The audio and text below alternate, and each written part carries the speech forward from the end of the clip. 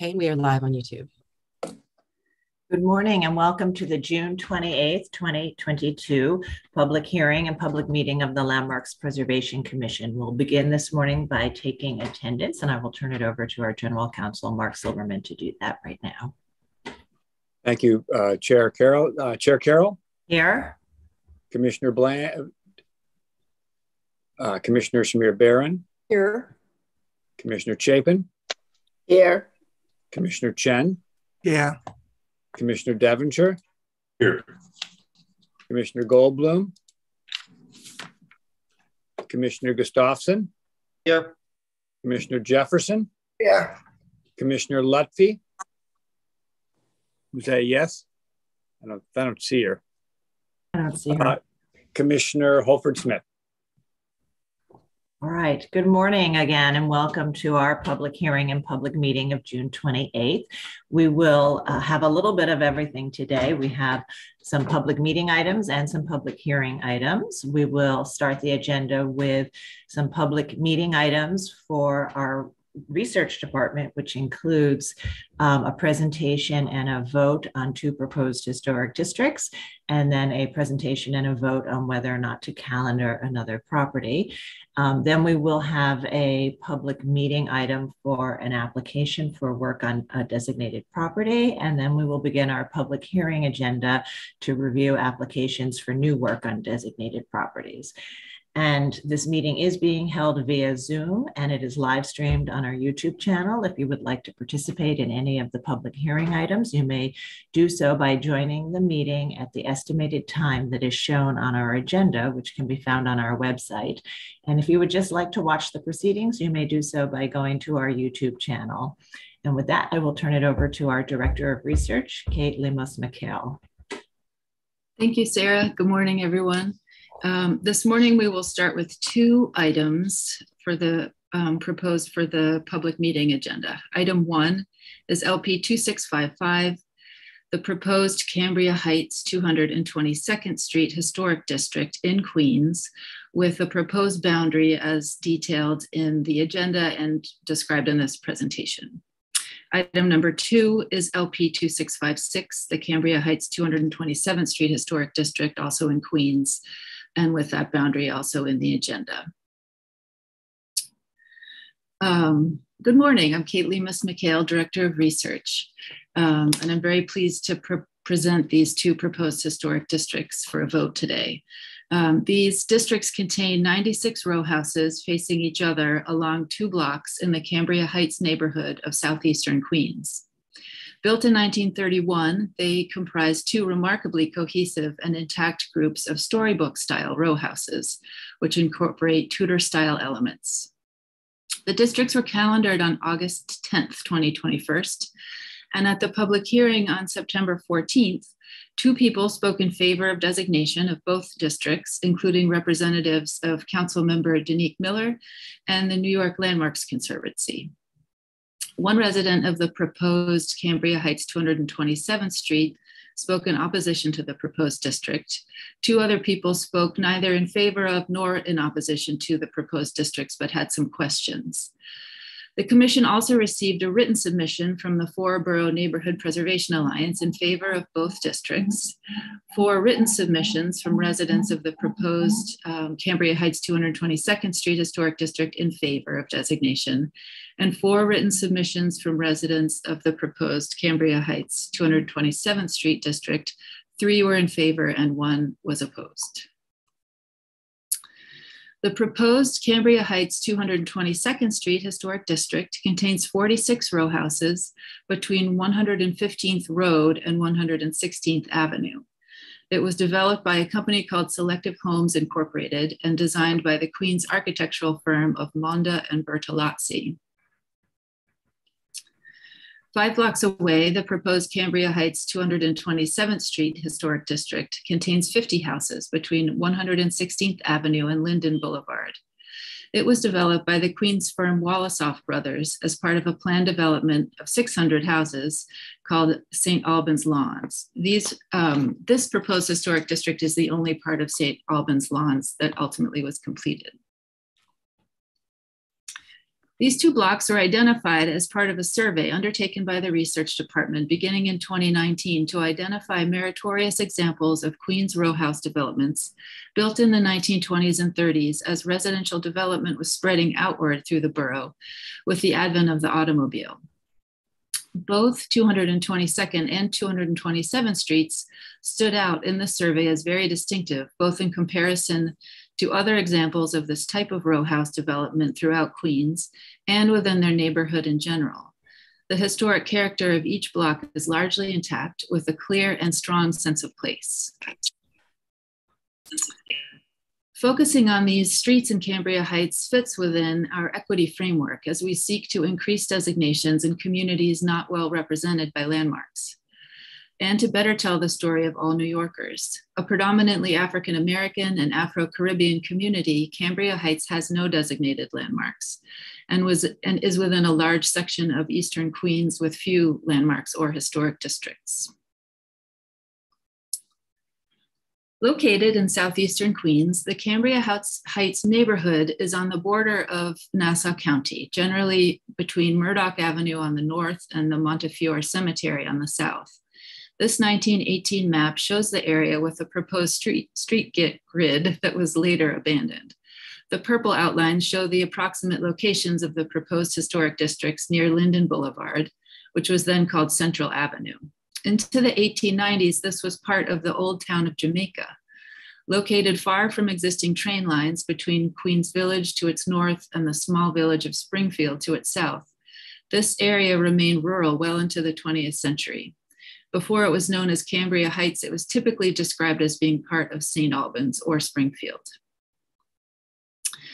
Um, and I love this map in, in, this aerial photo. In 1924, you can see that we're still farmland here. Um, there was little desire to develop an area so far removed from railroads and other mass transit at the time. Um, as this 1926 Sanborn map shows, the name Cambria Heights was in use by that time. The neighborhood's name appears rooted in the 1917 purchase by Pennsylvania's Cambria Title Savings and Trust Company of 80 acres of farmland east of Springfield Boulevard, south of the proposed historic districts. The blue outlines show the locations of the proposed districts in the heart of this new neighborhood. As infrastructure investment shifted away from railroads and streetcars towards highways and private vehicles by the late 1920s, Robert Moses's extensive Long Island Parkway network was taking shape, including the Southern State Parkway leading eastward from Cambria Heights starting in 1927. By 1930, work had begun on the first vehicular bridge linking Queens to the mainland, the Triborough, now um, RF Kennedy Bridge. In a new and a new parkway network was underway in Queens, part of the proposed Metropolitan Loop, which is shown here on the right. Despite the Depression, thousands of homes were under construction or nearing completion in southeastern Queens at that time. There is a reason for this remarkable growth, one developer stated in 1930. It is simply an expression on the part of the people of New York City that they still love trees and lawns and sunshine. The architects of 222nd and 227th Streets incorporated elements of the Tudor Revival style with what has come to be known in recent years as the storybook style. Primarily associated with freestanding houses, the Tudor Revival was adapted for row houses by the 1910s in Queens and Brooklyn, including the designated Chester Court Historic District shown here. The storybook style took root after the Tudor Revival during the 1920s, drawing upon medieval and arts and crafts traditions as well as fantasy architecture. The storybook may be seen as an expressive variant of the Tudor Revival, or as on 222nd and 227th Street as a style of its own. Originating in California in the 1920s, the storybook style merged medieval precedents with fairy tale illustrations and the aesthetics of Hollywood, the embodiment of glamour, fantasy, and romance. The fanciful adaptation of traditional Tudor elements, use of bright colors and exaggerated curving forms and ornament with a playfully pasted on appearance are all characteristic of the style. On 227th Street, the vertically stretched entrance vestibules with flared eaves, half timbering, diamond pane windows, and stucco fields with randomly laid brick and stone accents are typical of the storybook style. So too are the whimsical red, blue, and green slate shingles with ragged edges implying great age. Storybook features of the 222nd Street houses include their Tudor arched window openings, brightly colored terracotta roofs and windows, brick facades with random stone accents, and whimsically decorated chimneys with patterned brick and stucco panels. The rows of expressive facades give the street a stage set quality, consistent with the storybook style of a Hollywood backdrop or fairy tale illustration come to life. In planning the 222nd and 227th Street districts, builders adapted a model first widely used in the mid 1920s in Jackson Heights. Driveways behind the houses provide access to rear garages, relegating automobiles to the interior of the block and allowing for continuous landscaped front gardens. The effect is especially striking on 227th Street, shown here, where the front gardens remain almost completely uninterrupted and open. Both the 222nd and 227th Street developments were started in the spring of 1931 and began selling by the fall. By the end of summer, the developers of both streets entered an agreement with builders of similar developments nearby to market their houses collectively as, quote, Parkway Homes of St. Albans. 227th Street was also promoted individually in the Brooklyn Eagle and other local newspapers. Advertisements noted the house's eight rooms and brick construction and their location on the gateway to the Southern State Parkway. The attractive pricing included a private garage and was in keeping with Wolosoff Brothers' intention that the salaried man earning $50 a week can buy a house with as little financial effort as would be involved in paying rent. The location of St. Albans, Long Island emphasized the suburban setting. Hey, can I just interrupt? Oh, never mind. I was worried the slides weren't moving. Oh, It just moved. I didn't know if it was me or for everybody. The long one. um, initially, residents of both 222nd and 227th Streets were white middle class families. Black families began moving to Cambria Heights by the 1950s, often overcoming opposition, even overt hostility from some white residents and real estate brokers. By the 1980s, they were joined by immigrant families from Caribbean countries such as Jamaica, Haiti, Trinidad and Tobago, Guyana, and Barbados. Today, Cambria Heights remains one of several prosperous, predominantly Black residential communities in southeastern Queens. The following slides uh, show staff's analysis of the two districts, and we're starting here with 222nd Street. Built by a single developer, Selective Homes Incorporated in 1931, both sides of the proposed Cambria Heights 222nd Street district share the same storybook style. So this is showing their date and their style. Um, and both sides of, of the block are exceptionally well preserved. The vast majority of the 46 houses um, in the proposed Cambria Heights 222nd Street district have high integrity, with many retaining their historic wood entrance doors and wood first story windows with cheerful pastel colored diamond panes, which is a signature feature of the style.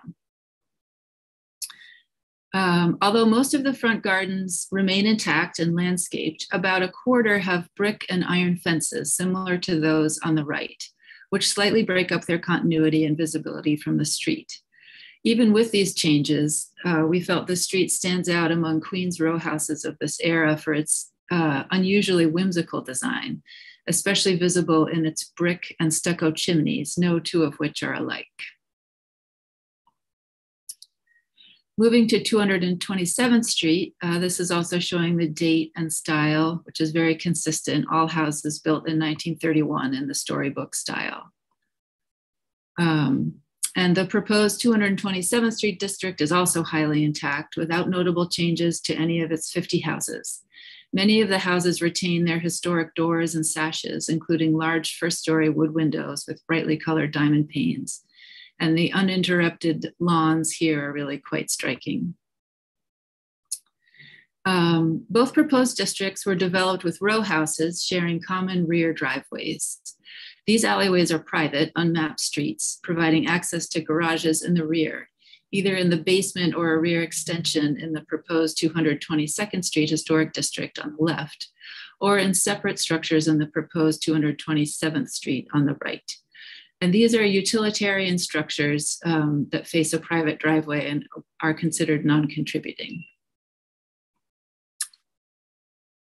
With their fanciful storybook style designs, these blocks um, are among the architectural highlights of the Cambria Heights neighborhood in southeastern Queens, and the significant historic character of both proposed 222nd Street and 227th Street historic districts remains remarkably intact. I just wanted to come back to the public hearing testimony um, where we did hear some questions from residents about LPC regulation. So we took additional time for more outreach and more careful conversations with property owners in both districts to provide information about working with LPC and the benefits and responsibilities of historic district designation. This included um, an in-person meeting, which is the picture here, um, from last September, which was our first um, in-person meeting after the start of the pandemic, we held it in a community garden just outside the district, and it was very well well attended. And a lot of people came, and we were able to talk with many homeowners. Um, we also held um, virtual office hours, so homeowners could talk to LPC staff one on one, and preservation staff joined us for that and we were able to answer questions there as well. And we've also kept up really uh, you know continuing conversations with individual homeowners. We heard a lot of questions about stained glass windows in particular through this and so we partnered with the landmarks conservancy to offer a workshop for the homeowners um, in both districts to learn more about um, repair methods and resources for these features. Um, so this all has been very productive and, and we're very happy to be presenting these today for a vote. Uh, and I'll just conclude to say the research staff um, and Mike Caratzas um, really worked on these and wrote the did all the research for a part of the city we really didn't have much on and wrote the reports and also Marianne Hurley and Bill Bilge Kose on the staff helped with the um, building entries. And research staff recommends that the commission vote to designate the East 25th Street Historic District. Thank you. Thank you. Oh, right. Oh, sorry, that was left over. Yeah. uh, 222nd Street and 227th Street Historic Districts. Thank you. Okay. Um, we have a question from Commissioner Gustafson. Please go ahead. Yeah, it's uh, probably a, more like a series of questions. Um, you know, the, the, the next thing that's going to happen is we're going to be sitting here talking about um, what changes can and cannot be made um, in these districts um, should we designate it. So um, to that end, um, uh, I heard that the garages are considered to be non-contributing and utilitarian. so if uh, in the event that we're um, uh, we're asked about demolition of one of those garages, which are on the tax lots, I assume. Yeah. Um, so you can tell me if I'm wrong there. Is demolition of these garages going to be something that um, is acceptable? So that that is the intention of the identifying them as non-contributing because they are utilitarian structures on the private street.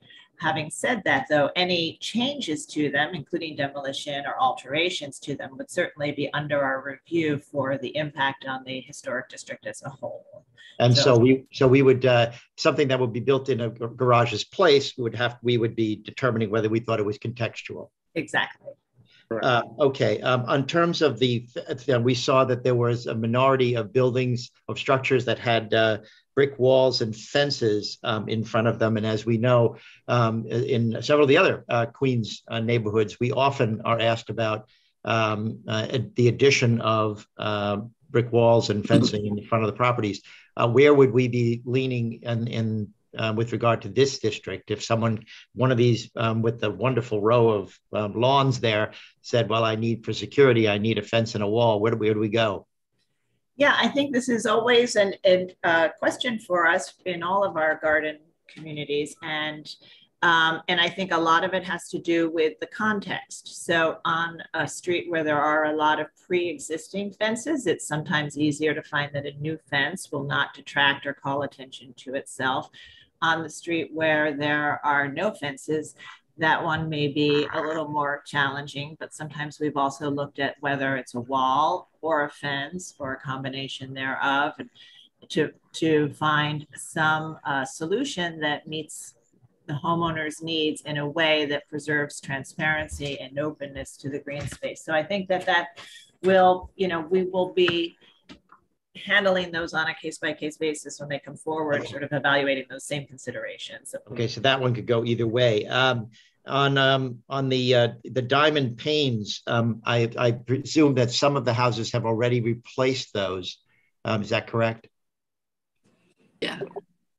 Um, so so that being the case, uh, someone comes to us, an applicant comes to us with a uh, with an effort to uh, um, replace their grandfathered substitutes uh, with something that is similar to the grandfathered item. Um, um, are we leaning towards bringing back the diamond panes? I know we did that workshop. I assume that's what that was for. Yeah, the workshop was for not only replacing missing ones, but maintaining them, which is mm-hmm. also in a sort of uh, area of a need and, and there were questions about just maintaining them. Um, and I would say, you know, any replacement of a pre-existing non-historic window that um, returns stained glass to the opening would be eligible for a staff level approval. Anything that isn't returning the stained glass would come to the commission and um, I think we'd have to, again, look at it on a case by case basis. Uh, I can see um, I can think of other examples where the mm-hmm. commission has approved something that evoked the pattern but not the color or something that has maybe some color but not the exact pattern.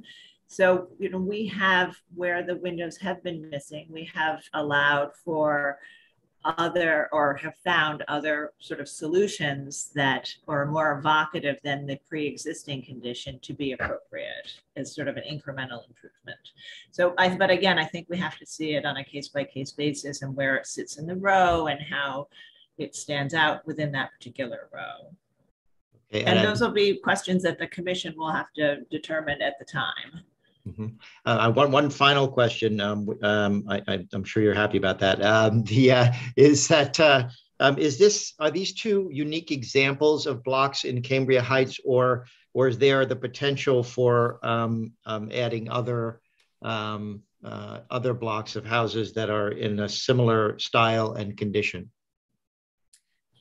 Yeah, if you, I can answer that. I think these these really stood out in Cambria Heights, and they stood out within our survey. But we did identify other areas that have blocks with a similar level of really architectural interest and distinctiveness in terms of applying this storybook style. Um, and so I think you know our broader survey has identified that, and we we started here, and I think for sure there's there's really more we can do and look forward to. Okay, thank you. Thanks. Thanks. Any other questions? Okay, not seeing any other questions. I want to just sort of kick off a discussion, um, noting that as a Queens resident, doing this Queens uh, survey was important to me. And our staff was incredible with Mike Caratzas and Marianne Hurley and Bilge Kose and they did do an extensive survey sort of from mid to eastern Queens to uh, really look at the row house development here and the use of this particular style to understand it better and to understand are some better than others? Do some use the features of the style more in a more innovative way? And I think that this survey was invaluable for us. And as Kate said, we did identify some other streets. And so it's a good baseline for thinking about other historic districts in mid and eastern Queens. Um, but we really were able to understand the style and understand where it was used in a particularly innovative or creative way, um, and also where those streets were most intact. And so I, you know, I do look forward to continuing to build on on this survey in this particular neighborhood. These two streets really, and and within the larger study, these two streets really did stand out uh, for their sort of whimsical features uh, and um, and their level of intactness. And Um, and I'm just delighted that we are looking at these today. I also want to say, like so so many of our recent historic districts, the community is incredibly strong and active and was real they were really a pleasure to work with. And i want to also um, uh, uh, comment or, or, thank ben wallen our, our director of outreach or, or coordinator on outreach who really worked with the property owners between each of the major events we had. He had individual ongoing conversations with them all and and I can't express how important these relationships are when we begin this process and as we move forward in, our continued relationship after a designation. So I want to acknowledge Ben's hard work as well and really thank the community for engaging with us and talking to us about our interest and what concerns and questions they had and um, sort of watching them evolve as a community with the idea of this is a potential designation. So I really want to thank the community.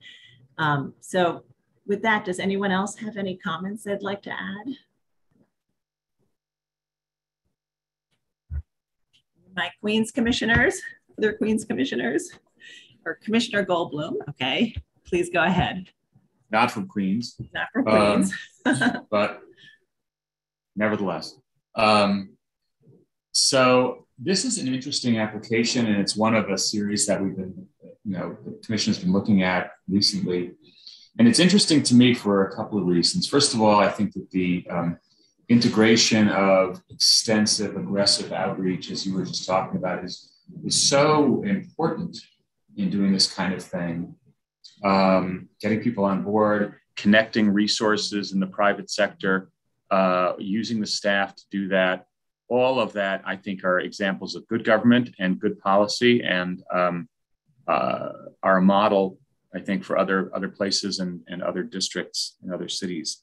Uh, it's really it's the basis of a successful um, a successful uh, designation, uh, if you ask me, because you know hopefully with you know a these are very small. Hopefully we won't see a lot of the uh, uh, oh I didn't know kind of thing that we often do see with new districts because you've really been able to deal with people on a granular basis, and I think that's very strong.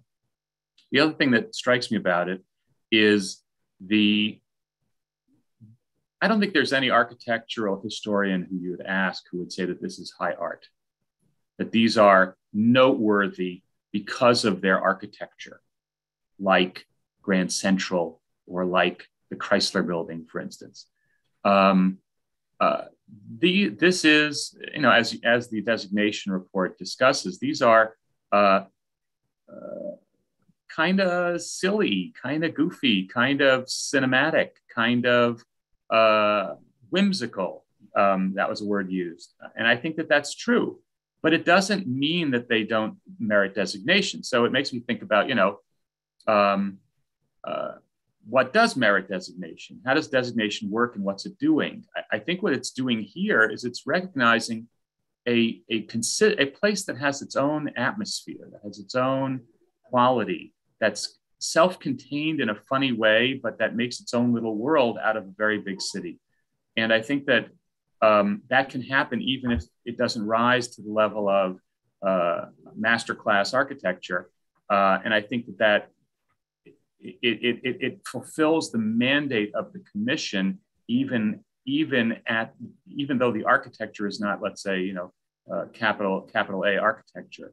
Um, and I think that as a and that plus the cultural aspect of the development of the neighborhood, um, those those go to kind of for me making a, a, a clearer understanding of what a district is, and and I think that this therefore is totally appropriate as a district. Thank you. Yes, and and when you walk into these streets, there is definitely a sense of place that is as you say, atmospheric. Commissioner Chapin, please go ahead.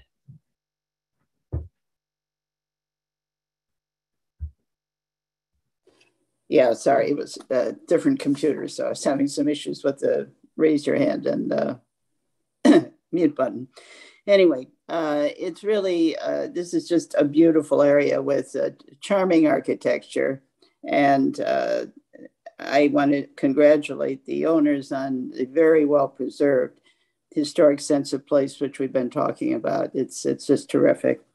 So, and I'm very uh, pleased to hear about all the efforts that were made with the community because that is so important, as uh, Michael was just saying. Uh, anyway, I, I think it's uh, great that we found this area to designate. It's uh, very well, very appropriate. Thank you. Anyone else? Yes, Commissioner Chen, please go ahead. Just want to echo my fellow commissioners uh, and as well uh, compliment the team and Kate uh, Lemos for a job well done. Uh, anytime you can feature uh, Goldilocks, um, um, you have me on your side. Uh, but it's, uh, I, I had to commend you for the extensive outreach, especially given the, uh, the challenging times we live in. And uh, Michael Goldblum is uh, so correct that this is so important, as well as Diana's comment. Thank you. Great. Anyone else? Oh, great. Okay, so um, with that, what I'd like to do is make a motion to designate each of these historic districts. There are two historic districts. Um, so first I would um, ask Commissioner Chapin if you would make a motion to designate the Cambria Heights 222nd Street Historic District. Thank you.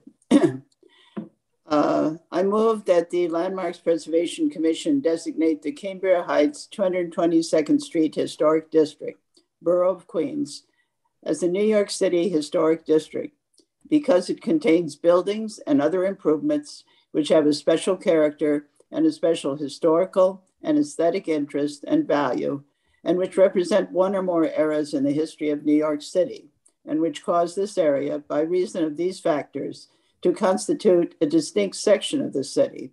Further, this historic district is part of the development, heritage, and culture of the city, state, and nation, as set forth in the designation report for LP 2655, dated June 26, 2022.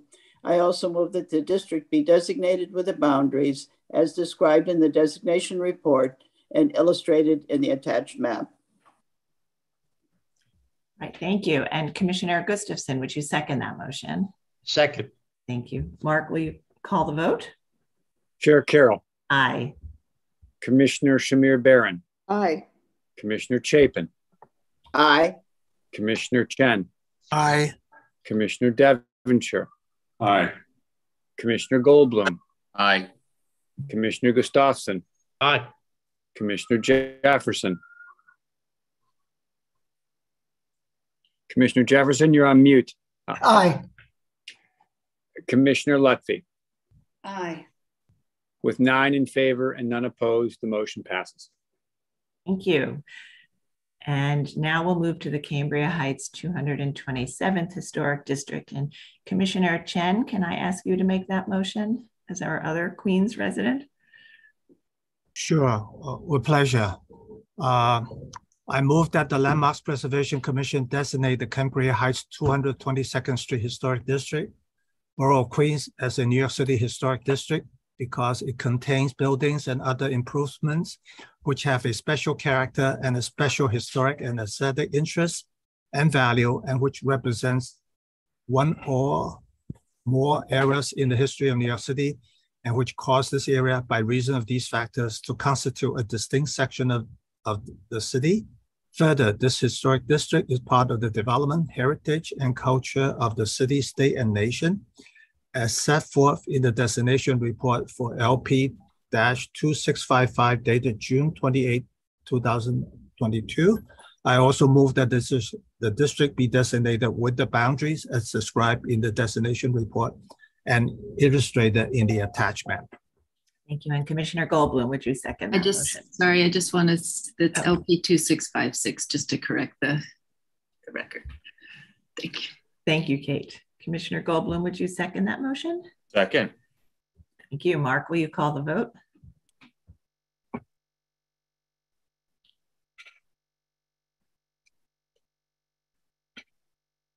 Mark, you're on mute. Sorry, I thought Sarah was on mute. Uh, Chair Carroll, Aye. Commissioner Shamir Barron, Aye. Commissioner Chapin, Aye. Commissioner Chen, Aye. Commissioner Devonshire, Aye. Commissioner Goldblum, aye. Commissioner Gustafson, Aye. Commissioner Jefferson, Aye. Commissioner Lutfy. Aye. With nine in favor and none opposed, the motion passes. Right, that's approved as well. And I'm delighted today. Thank you all for um, this discussion and this vote. Um, and we now have our two most recent historic districts in Southeast Queens in Cambria Heights. Thank you very much. And we'll move to the next item. Great, thank you. Um, our third item this morning is LP 2662, uh, the Lesbian Herstory Archives at 484 14th Street in Brooklyn, Block 1103, Lot 31. Proposed for the Commission's calendar is a Renaissance Revival style row house designed by Axel Hedman and constructed in 1908 that has housed the Lesbian Herstory Archive since 1991. And presenting this this morning is the Deputy Director of Research, Margaret Herman.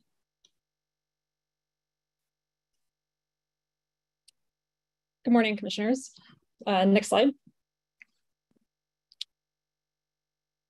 Okay. Uh, 484 14th Street in Park Slope, Brooklyn is culturally significant as the home since 1991 of the Lesbian Herstory Archives, the nation's oldest and largest collection of lesbian-related historical material. The organization's headquarters for over 30 years, this building is where the archives expanded its collection, grew to national prominence, and continues to serve as a vital educational organization, community space, and center for lesbian history and culture. The building is on 14th Street between 8th Avenue and Prospect Park West, but uh, within Brooklyn's Park Slope Historic District. The proposed landmark site consists of the tax lot, block 1103, lot 31. The Lesbian Herstory Archives is an entirely volunteer run nonprofit organization founded in 1974 by activists Joan Nestle, Deborah Edel, and others, housed until 1991 in Nestle and Edel's apartment on the Upper West Side of Manhattan. The archives began as a grassroots attempt to end the silence around lesbian history and to create a physical archive for study, analysis, and community gathering. At a time when the LGBTQ community faced enormous legal and social discrimination, the archives fought to bring lesbian cultural artifacts into public view and to normalize them as an integral piece of American history. The project was national in scope from its early years and was intentionally feminist in nature, using the term herstory to note the rejection of patriarchy. It was also inclusive, with women of color counted among the organization's early supporters and contributors. The image on the left shows early members participating in the second annual Gay Academic Union Conference at NYU in 1974, the images on the right show volunteers sorting through periodicals and attending a gathering at the archive's Upper West Side home in the 1980s. The collection had outgrown its space by 1990, and by 1991, the archives had raised enough funding to purchase 484 14th Street in Park Slope, Brooklyn, which had become a center of the lesbian community in New York City. After more than a year of renovations, the building was transformed into a new headquarters for the archives.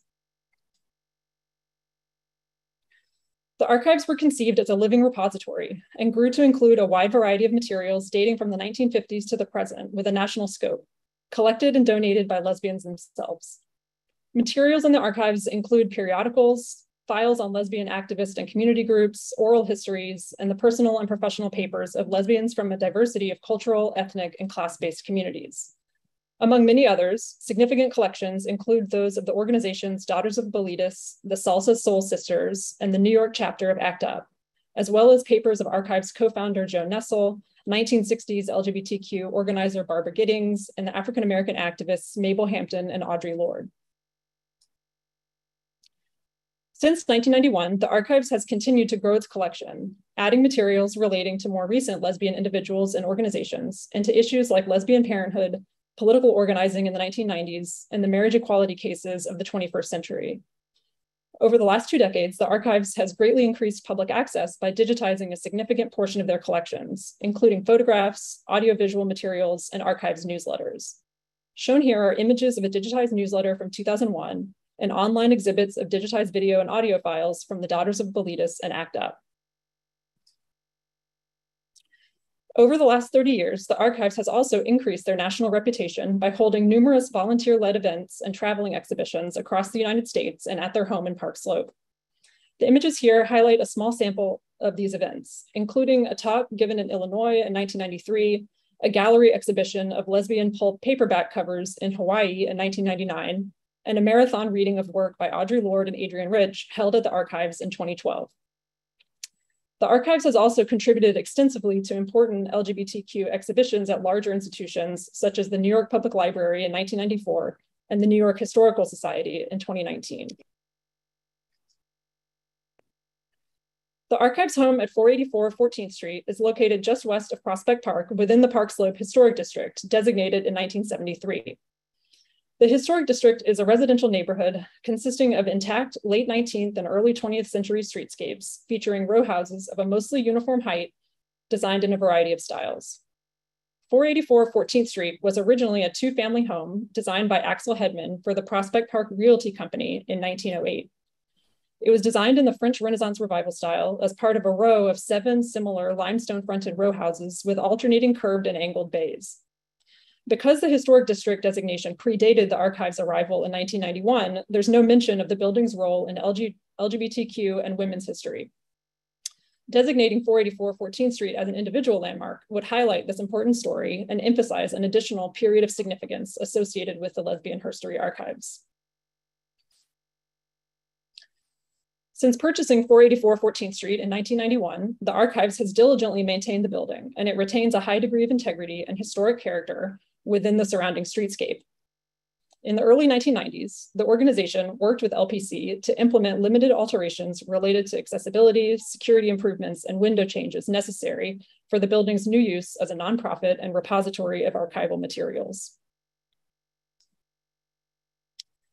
As a nationally important collection of LGBTQ historical materials, the Lesbian Herstory Archives plays an essential role in telling the story of a mostly unseen community of women who contributed to America's cultural, political, and social history. 484 14th Street has been the organization's home for over 30 years, where it has continued to collect important materials, expand its scope, and serve researchers and the public. The research department recommends that the commission calendar the Lesbian Herstory Archives as an individual landmark. Thank you, Margaret. Commissioners, do we have any questions? Okay, not seeing any questions. Um, I just want to note that um, you know, since we did uh, designated Stonewall Inn and then our subsequent LGBT initiative, um, where we designated um, a number of institutions and homes of influential people who uh, were active in the, the movement. Um, we have, as a team, continued to identify sites and look for sites. And we've worked closely with the LGBT Historic Sites Project. So I want to thank them for their cooperation and, uh, and collaboration with, uh, with us. Um, and this particular site, as Margaret said, is um, uh, in a, a, district that predates the history here. And so this designation would recognize this history that is so important to LGBTQ but also women's history. And um, this National Archive is actually an archive that our own research staff has used. And I think it is um, invaluable across the nation. So I'm delighted that we're considering it. And I think that uh, Commissioner Gustafson, you have a question, so I'll let you go ahead. Yeah, um, as, as a, the, the structure is already in um, an historic district, correct? Correct. And um, and we're um, we're designating an, indiv- an individual landmark and we're designating it for uh, cultural reasons. So my question is, how does our regulatory um, activity change with regard to this particular um, structure, uh, as opposed to, for example, the building adjacent to it and connected to it? And I think that part of, I don't know if that's me echoing, but I think that what I would say is um, the appearance of it during the time that it has been occupied by Herstory Archives is um, very similar to the appearance of its neighbors. It still has its 19th century appearance. So that period of uh, significance as it relates to the architecture, I think, is lends itself to regulating the architecture in a way that we would um, its neighbors. Um, having said that, though, as as Margaret described, they have worked with LPC to make a number of changes to the exterior to reflect their use and presence. And I, uh, in oh, I embrace those changes. I think it does. It's important that it does say there's something here. There's something here that's accessible to the public. Something here that people, um, where people are welcome to come and do research. And so I do think, to the extent that there are changes that reflect this use and support the use, we would consider those as well. Uh, you know, for example, some signage and um, other changes that allow for the public to know that they're there and to enter into the building easily. So hypothetically speaking, if it was, um, if it had, if it had been radically altered um, individually, um, as opposed to the rest of the buildings, right. during the period of relevance, then we would have regulated to the period of relevance. That's correct. So, for example, the James Baldwin House is in the Upper West Side Historic District, yeah. but had a 1950s white brick facade that might otherwise not have been considered significant, but that dated to his period. And so that we will consider that a significant layer. Thank you. Thank you. Other questions? Okay. Well, again, I'm I'm very excited to be recognizing the Lesbian Her, Her Story Archives um, at this particular moment as we wrap up Pride Month, um, and also recognize the significance of women in, in our nation today. So, um, Commissioner Lutfy, would you make a motion to calendar this item for consideration? So moved. Thank you. And Commissioner Shamir Baran, would you second that motion? Second. Thank you. All in favor, say aye. Aye. Aye. aye. Any opposed? All right, so the item is considered, uh, is calendared, and we will consider it in the near future at a public hearing. Thank you. And we'll now move to our Preservation Department agendas. Okay, thank you, Sarah, and good morning, everyone. Uh, we're going to start today's Preservation Department agenda with public meeting item, public meeting item number one that's LPC 22-08221, an application for a certificate of appropriateness in the borough of Manhattan, block 1183, lot 46, 330 West 72nd Street in the West End Collegiate Historic District Extension.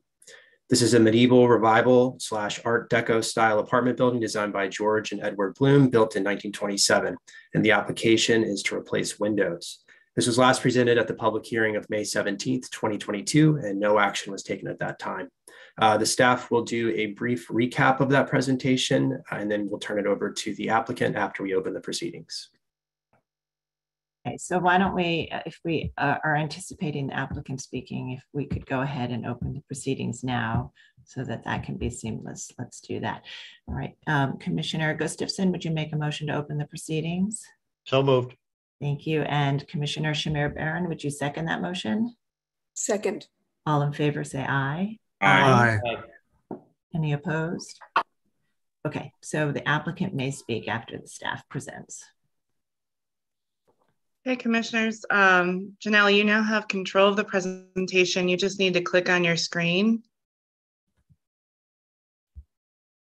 And then unmute yourself once you've clicked on your screen.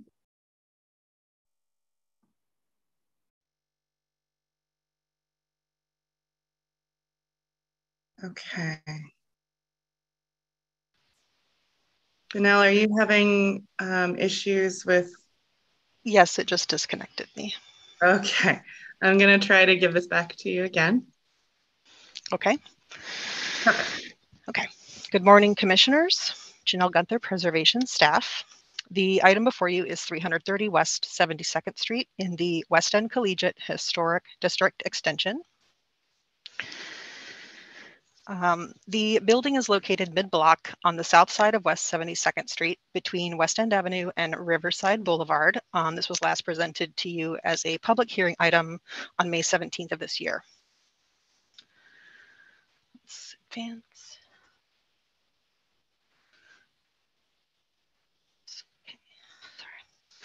Here is a historic photo showing the subject property toward the left-hand side of the image.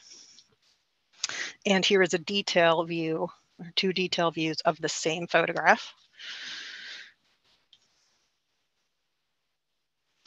And these are some designation photos of the building. The proposal is to install metal one over one, double hung windows at one apartment at the seventh floor of the West 72nd Street facade. At the public hearing, there were six commissioners present, and those who were present expressed a consensus to, of support to install the historic window configuration and did not support the proposal to install one over one windows. However, no action was taken at that time. Please note, as documented in the designation photos, that multiple windows with a three over one configuration were present at several different floors on the facade, and the staff believes this is the historic configuration. The proposal and presentation materials remain as originally presented and the applicant would like the commission to take an action. The applicant is present and would like to make an additional statement. Okay, the applicant may go ahead and speak.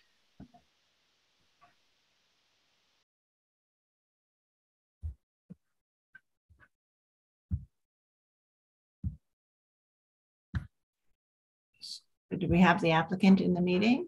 Yes, yes, I, I've been unmuted. Okay. Can you hear me? Yes, we can hear you. Okay, good. So, um, thank you uh, for giving me the opportunity to address the LPC.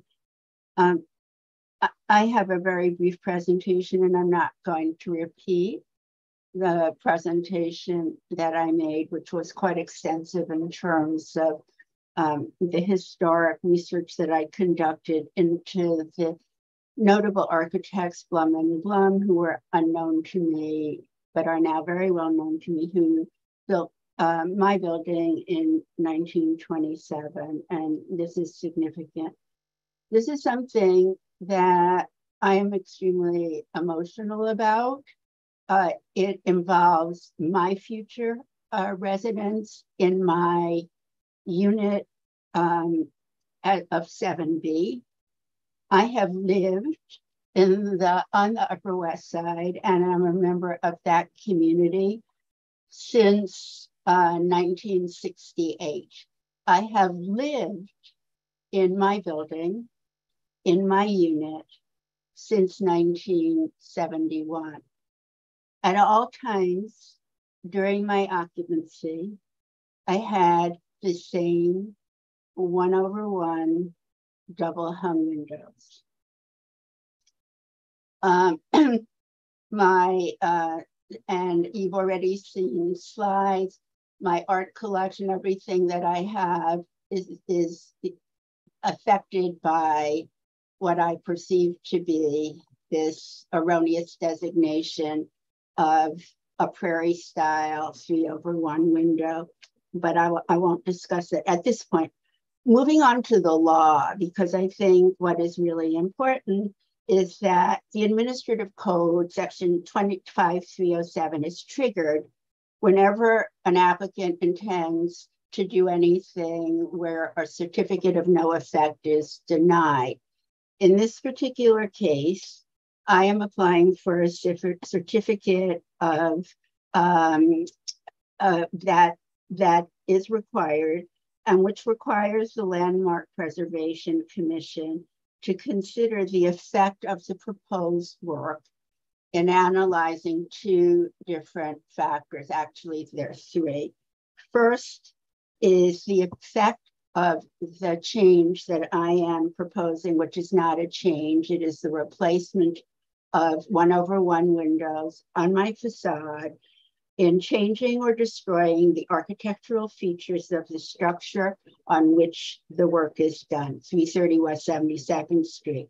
The second factor under the law that you're supposed to be considering is the effect of the uh, change that I'm making on the exterior architectural features of neighboring buildings, the adjacent structures, and then, of course, on the entire West Side Historic District in which my building is located.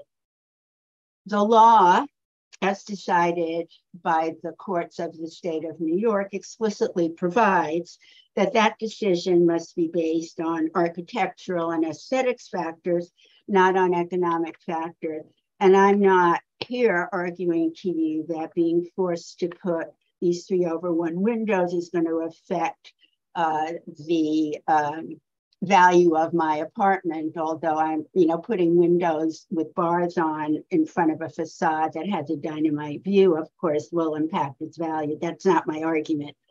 So I want to look first at the idea of no effect on a significant architectural feature of the building. At the time of the designation, the building had no historic windows.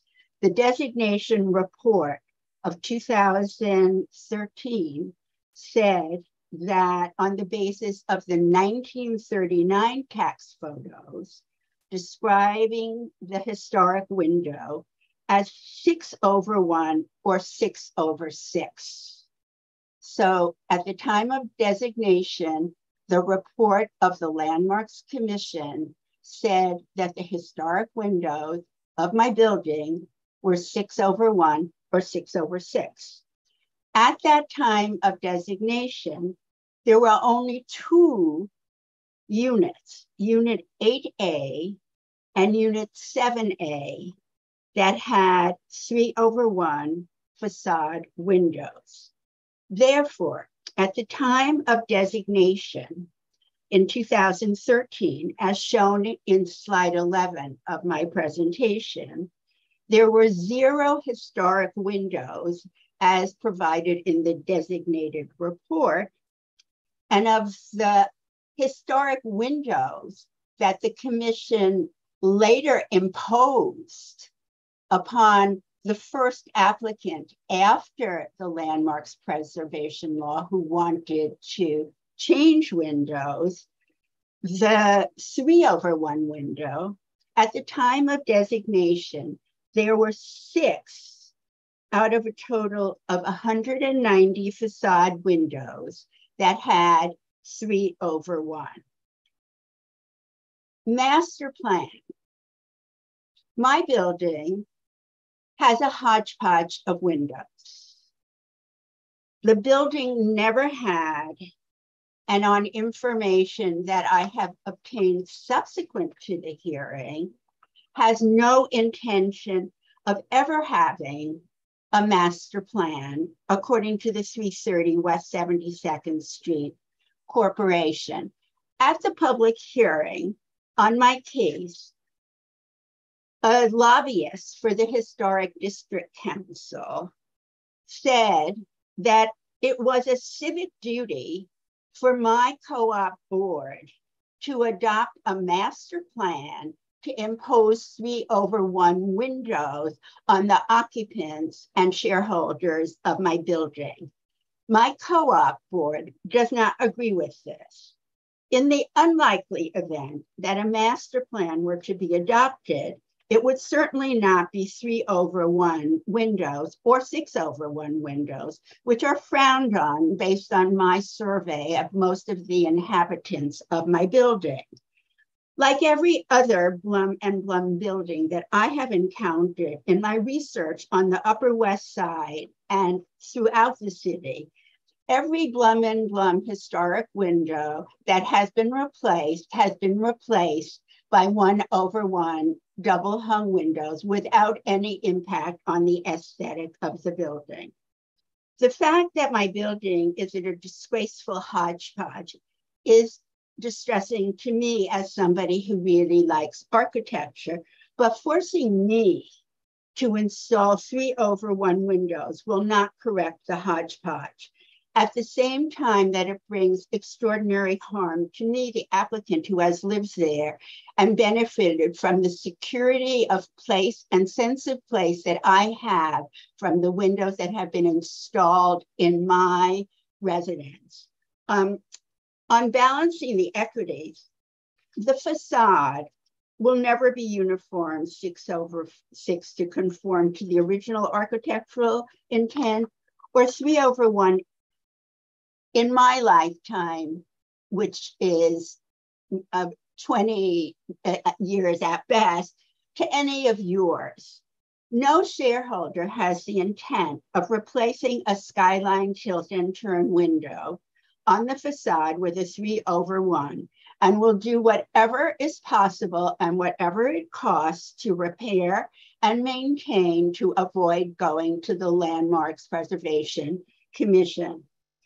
So my PowerPoint showed with respect to the next elements, the effect on the neighborhood and adjacent structures.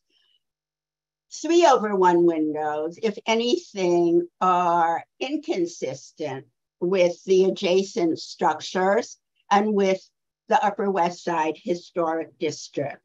The Upper West Side Historic District is dominated by one over one double hung windows. And the adjacent structures to mine, like 277 West End Avenue, 322 West 72nd Street, and the Chatsworth, all have uh, all have compatible windows with what I am about to install.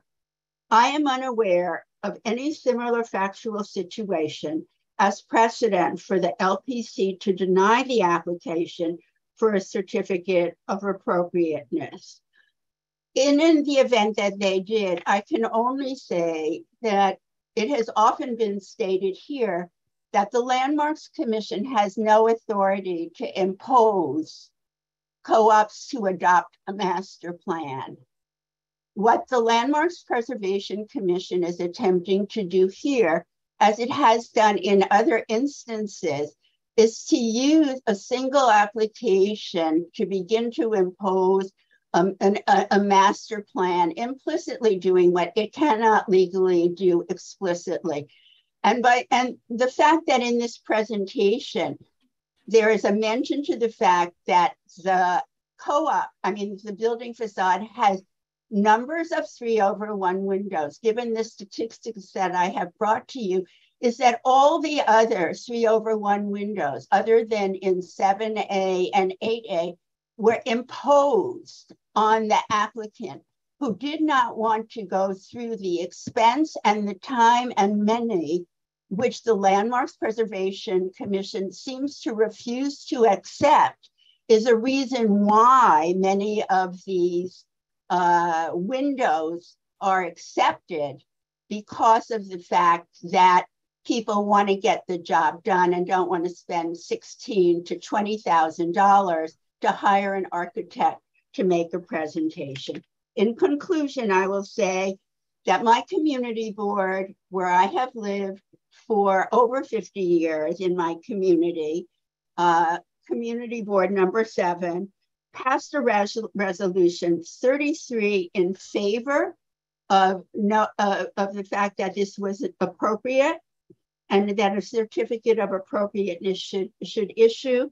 There were zero against, three abstentions, and one present.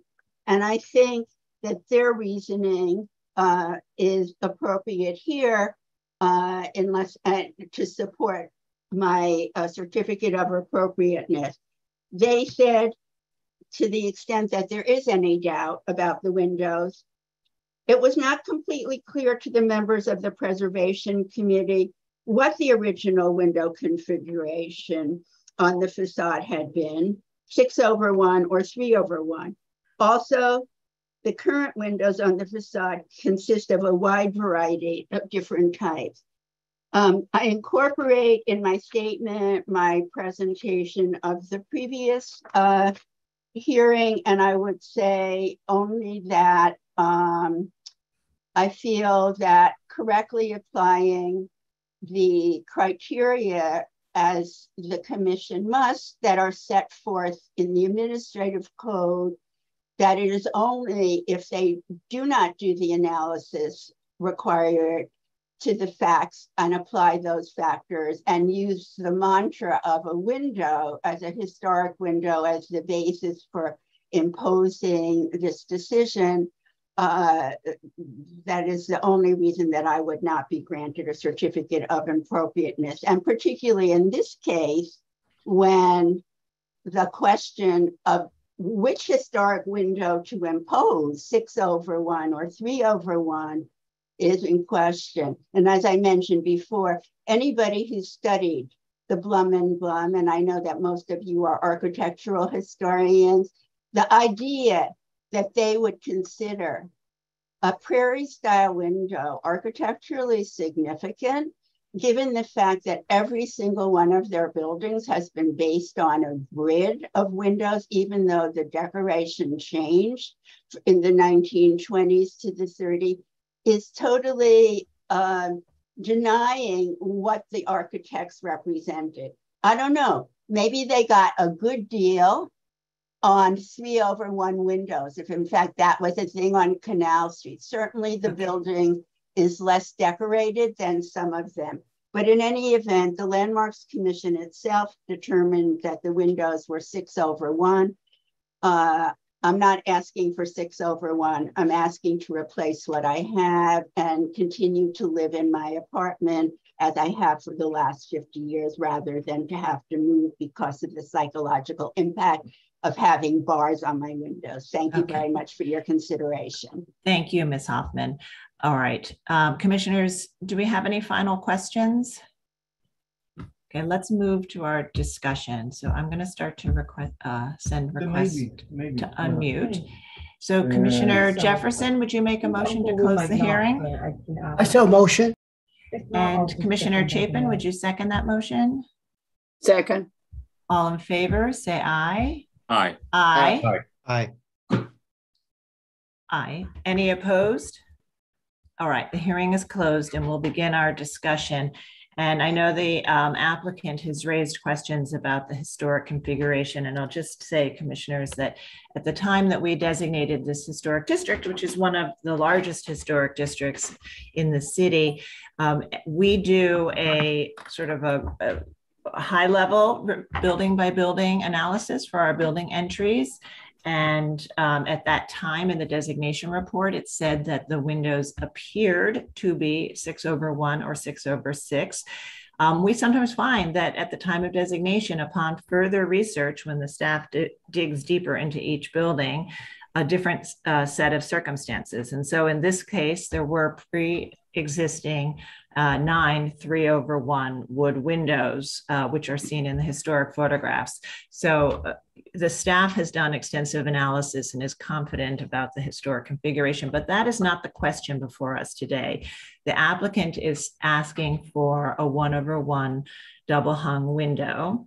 Um, and the uh, and the question of what the historic configuration is something that would be resolved at staff level should the staff uh, should the applicant be proposing to match and meet the rules um, to match the historic configuration. So the question before us is whether or not a one over one double hung window is appropriate in this particular building, given the conditions that are before us today, and that is that there um, is a combination of and a variety of window types. We know that there were nine historic windows at the time of designation.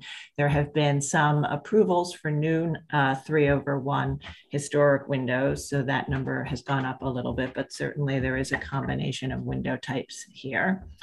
Um, and as you know, in the in the uh, distant past, the commission in buildings where the majority of the historic windows were gone at the time of designation had allowed a one over one configuration as part of a master plan to achieve uniformity in lieu of the historic condition.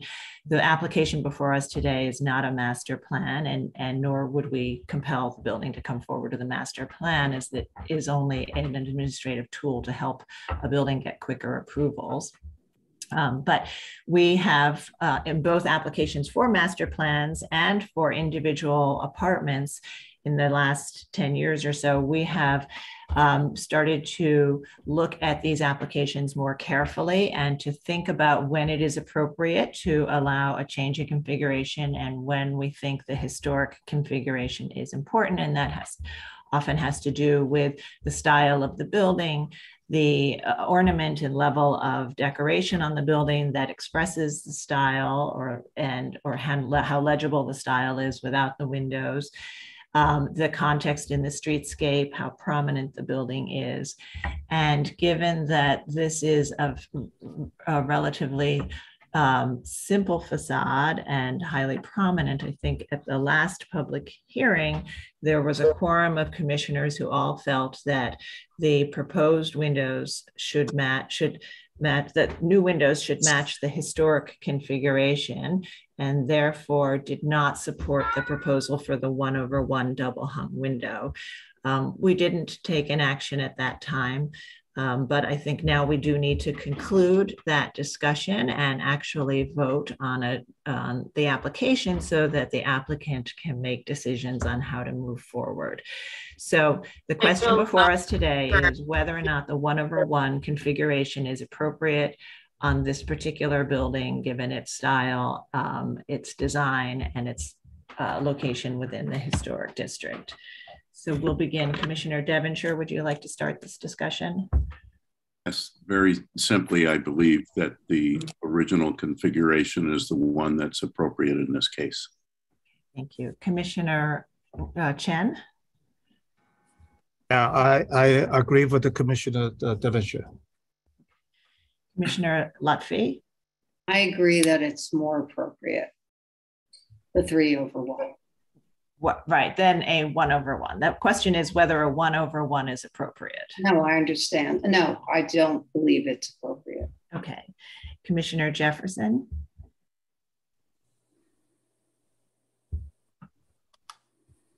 I think you're muted just request accept the request to unmute. I don't i'm always muted. Um, um, i agree with commissioner devonshire. Okay thank you. And commissioner gustafson yeah, uh, just to highlight um, a couple of things that um, that um, you said, Chair Carroll. Um, the um, the building itself has very little ornamentation, and that is usually our um, the, it's the trigger for us to determine what how important the the windows are. The the original window configuration is in that context. the whether it was three or six um, uh, doesn't make much difference to us in making that decision. We're asked here solely to determine whether one over one is appropriate. Um, and um, and and uh, in this instance, um, uh, I don't I don't think that it is appropriate. Um, and and frankly, I think the applicant made a um, unfortunately made a good argument um, or made a, some argument for six over one, which I, I don't think that's what she actually wants, but um, in any event. Um, and in terms of um, you know the long-term um, uh, impact of that decision, um, she is correct that this will be done on a you know one by one basis. Um, but the, the, the fact is that we designate these buildings not for our lifetimes, mine or yours, but for uh, theoretically ad infinitum. Um, and over the course of time, um, you know, forever right or forever wrong, we can we can cement the error, or we can um, um or we can build to um, uh, a consistent future at some point down the road, and probably long after I'm gone. Thank you, Commissioner Shamir Baran. Oh, I think she had to step away. All right, Commissioner Chapin. Uh, I agree with Commissioner Devonshire and Commissioner Gustafson's uh, points about the uh, the simplicity in this case of the building and the need for some additional decoration, which the architect intended uh, at the beginning. So in this case, I feel that uh, the one over one is not appropriate. Commissioner Goldblum. Uh, no disagreement. Um, I, I, think that the applicant has raised a lot of uh, concerns and articulated them very clearly. And I think it would be to her advantage to have a, have a discussion with, with uh, Mark Silberman uh, about some of the ins and outs of her comments. But I think that, that our decision as a commission um, is as you and, and John and, and Michael have discussed it to be.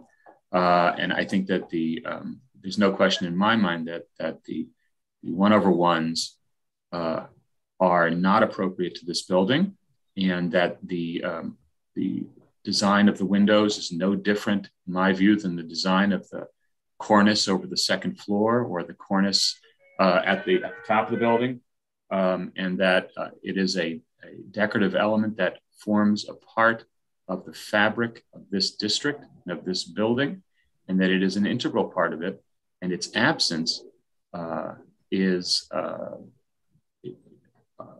not to be uh, perpetuated, but to be fixed. And if it, if it takes one application or, or 50 applications, um, I think our job as a commission is to enhance the district and the building. And this uh, determination, I believe, will do that. Okay. All right. Thank you. So I think we have a consensus to deny the application for the one over one double hung windows. Commissioner Devonshire, would you make the motion?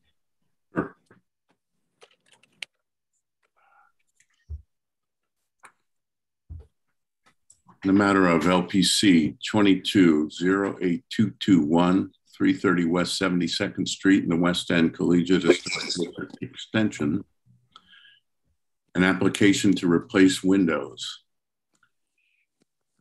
I recommend denial, finding that the building's ornamentation is restrained. Therefore, the texture and pattern of the historic window configuration is a significant feature of the design and composition of the building that the proposed one over one windows will not match the historic three over three windows in terms of configuration, which contribute to the unique medieval revival Art Deco style of the building. That the historic three over one double hung windows existed at mm-hmm. several locations throughout the building at the time of designation. Therefore, the proposed one over one double hung windows will detract from the existing examples of the historic configuration and the proposed work will diminish the special architectural and historic character of the building and the West End Collegiate Historic District extension. Thank you. Commissioner Gustafson, would you second that motion? Second. Mark, will you call the vote? Chair Carroll. Aye. Commissioner Shamir Baran. She's still absent. Commissioner Chapin. Oh. Commissioner Chapin. Aye. Okay. Aye. Uh, Commissioner Chen. Aye. Commissioner Devonshire. Aye. Commissioner Goldblum. Aye. Commissioner Gustafson. Aye. Commissioner Jefferson. Aye. Commissioner Lutfy. Aye. With eight in favor and none opposed, the motion passes. Right, so uh, the one over one uh, double hung windows are denied here and the applicant may continue to work with the staff um, uh, pursuing an option that would match the historic windows uh, should they wish to continue to replace the windows. Right, we'll move to the next item now. And the next item is public hearing item number one, LPC 22-09533. This is an application for an amendment in the Borough of Manhattan Block 40, Lot 3, 60 Wall Street. Uh, this is a postmodern style office tower designed by Roche Dinkeloo and built in 1985 to 89 pursuant to a special permit under zoning resolution section 74-79, which found a harmonious relationship between the building and the individual landmark at 55 Wall Street, which is a Greek revival style exchange building designed by Isaiah Rogers, built in 1842, with an addition designed by McKim, Mead, and White, built in 1907. The application is to amend CR 85 004 to alter the base of 60 Wall Street. Hey, commissioners, the applicants have entered the hearing. Hugh, you now have control of the presentation. You just need to click on your screen. Uh, and Commissioner I'm uh, sorry. Before we begin, I'd just like to give the commissioners a, a little bit more background. So commissioners in August of 1984, the commission approved a positive report pursuant to an application of the City Planning Commission under 7479, supporting the transfer of more than 30, 363,000 square feet of development rights from 55 Wall Street, an individual landmark, across the street to the site at 60 Wall Street, and for certain modifications to height and setback regulations. Um, the application required the commission to approve a continuing maintenance program which the Landmark Conservancy currently oversees, and to find a harmonious relationship between the landmark and the new building. In finding a harmonious relationship due to the design, choice of material, and location of the new building in relation to the landmark, the Commission found that The, um, and I'm summarizing here, the colonnaded base conforms to the street wall set up by the buildings along the length of Wall Street, including 55 Wall, that the height, rhythm, and massing of the ground floor colonnade related to the landmark scale, that the choice of granite for the facade of the proposed building is, uh, will complement 55 Wall, uh, that the basic form of the colonnade is contemporary and as such is not duplicative of the landmark, but rather a sensitive response to it, and that the tower portion of the building is well integrated with the base through the use of stepped setbacks. Um, the application concerns altering the base of 60 wall, as you will see. You are being asked whether there is still a harmonious relationship between the new design and 55 Wall Street. I note that when considering a harmonious relationship, the building typically looks, the commission typically looks primarily at the base of the new building in connection with the smaller landmark buildings, although the commission does consider the new building in its entirety. So with that, I'll turn it over to the applicant. Thank or you. if you have any questions, happy to answer them. Thank you, Mark. Uh, thank you, Corey. Uh, good morning, Madam Chair, members of the Commission. Thank you for having us. Uh, my name is Melanie Meyers with Fried Frank. I'm the Land Use Counsel for the applicant. And Hugh, if you can go to the next slide, please. Um, as Corey and Mark both indicated, the application before you is for a revised report relating to the harmonious relationship between 55 Wall Street, a New York City landmark located on the south side of Wall Street, um, and 60 Wall Street, a late 1980s non landmark office building located on the north side of Wall Street between William and Pearl Streets. As you know, the original 60 Wall Street was designed by the architectural firm of Roche Dinkeloo and has a tripartite design with a modern office tower shaft located between a postmodern base and tower top, a prevailing style in the 1980s. So the revisions that we are asking the commission to consider would replace the base of the 60 Wall Street building with a lighter modern design that transitions into the modern tower shaft while leaving a postmodern top as an element in the lower Manhattan skyline. Um, a little bit of background, uh, 60 Wall was built pursuant to a special permit, as was just mentioned, approved in 1984 that increased the floor area on the site through two mechanisms. First, the special permit allowed for the transfer of 363,000 square feet of air rights from the landmark 55 Wall Street under 7479. And this is the portion of the special permit that was accompanied by the harmonious relationship report. In addition, the building also received a floor area bonus of about 150,000 square feet for the provision of a large covered pedestrian space within the base of the building under zoning resolution section 7487. 60 Wall was designed as a financial services building and reflected the then prevailing view of what a bank headquarters should convey. This included an imposing fortress like entrance and large trading floors in the base of the building with minimal windows. In the 30 plus years since the building was built, however, the needs for office tenants, including financial services tenants, have changed dramatically in terms of needs for light and air, amenity, and accessibility. And as a result of these needs and these changes, the longstanding tenant of the building, Deutsche Bank, announced in May of 2018 that it was moving its New York headquarters to modern office space in Midtown Manhattan. That has happened. Deutsche Bank has now moved and the building stands empty. So while the Deutsche Bank's move was unfortunate for the building and was unfortunate for Lower Manhattan, it has provided the opportunity to address some issues with the building um, that make it challenging for tenancy. These include upgrades to the mechanical systems and the energy efficiency of the building, adding transparency to the base of the lower floors um, to make them more habitable for workers and modernizing the colonnade and the public arcade of the building to create a more inviting, safer, and in our view, a better neighbor to the Wall Street context. We could go to the next slide, please. And this is just this, a bit of a summary of what Mark just um, went through. The harmonious relationship did um, findings in 1984 uh, focused on the base. It concluded that the colonnade base conforms to the street wall, that it's that the building is integrated into the Wall Street context, that the height, rhythm, and massing of the colonnade relate to 55 walls scale, that the choice of stone was complementary, that the tower portion was well integrated in the base through a use of step setbacks, that we aren't casting shadows, and the basic form of the colonnade is uh, not duplicative, but rather contemporary. Um, we believe that the proposal achieves the goals expressed in the original um, report. And in particular, we believe that the KPF design uh, that he was about to show you is an updated, lighter, and more inviting facade than what exists today, but also one that maintains a strong harmonious relationship with 55 Wall through the use of its materials, its columns, and the introduction of screening elements that are reflective of 55 Wall Street but contemporary in approach. So thank you for your time. And I will now turn it over to Hugh Trumbull of Kohn Pedersen Fox to discuss the proposal. Thank you, Melanie. Uh, we go to the next slide. Um, it's a slide that really illustrates Wall Street and the, uh, the nesting of the proposal into the urban fabric. Uh, it seems to fit right in uh, with the overall fabric with 55 uh, Wall Street across the street, which is uh, the Cipriani, underneath the Cipriani flag.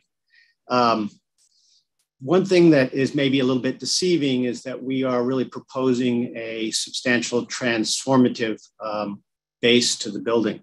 Uh, maybe not apparent in this image, but we are trying to prep the building uh, to be competitive uh, and to be occupied for the next 50 years. It is one of the, the most uh, or one of the largest buildings uh, within Wall Street and has up to now one of the greatest populations uh, contributing to the life of the city here.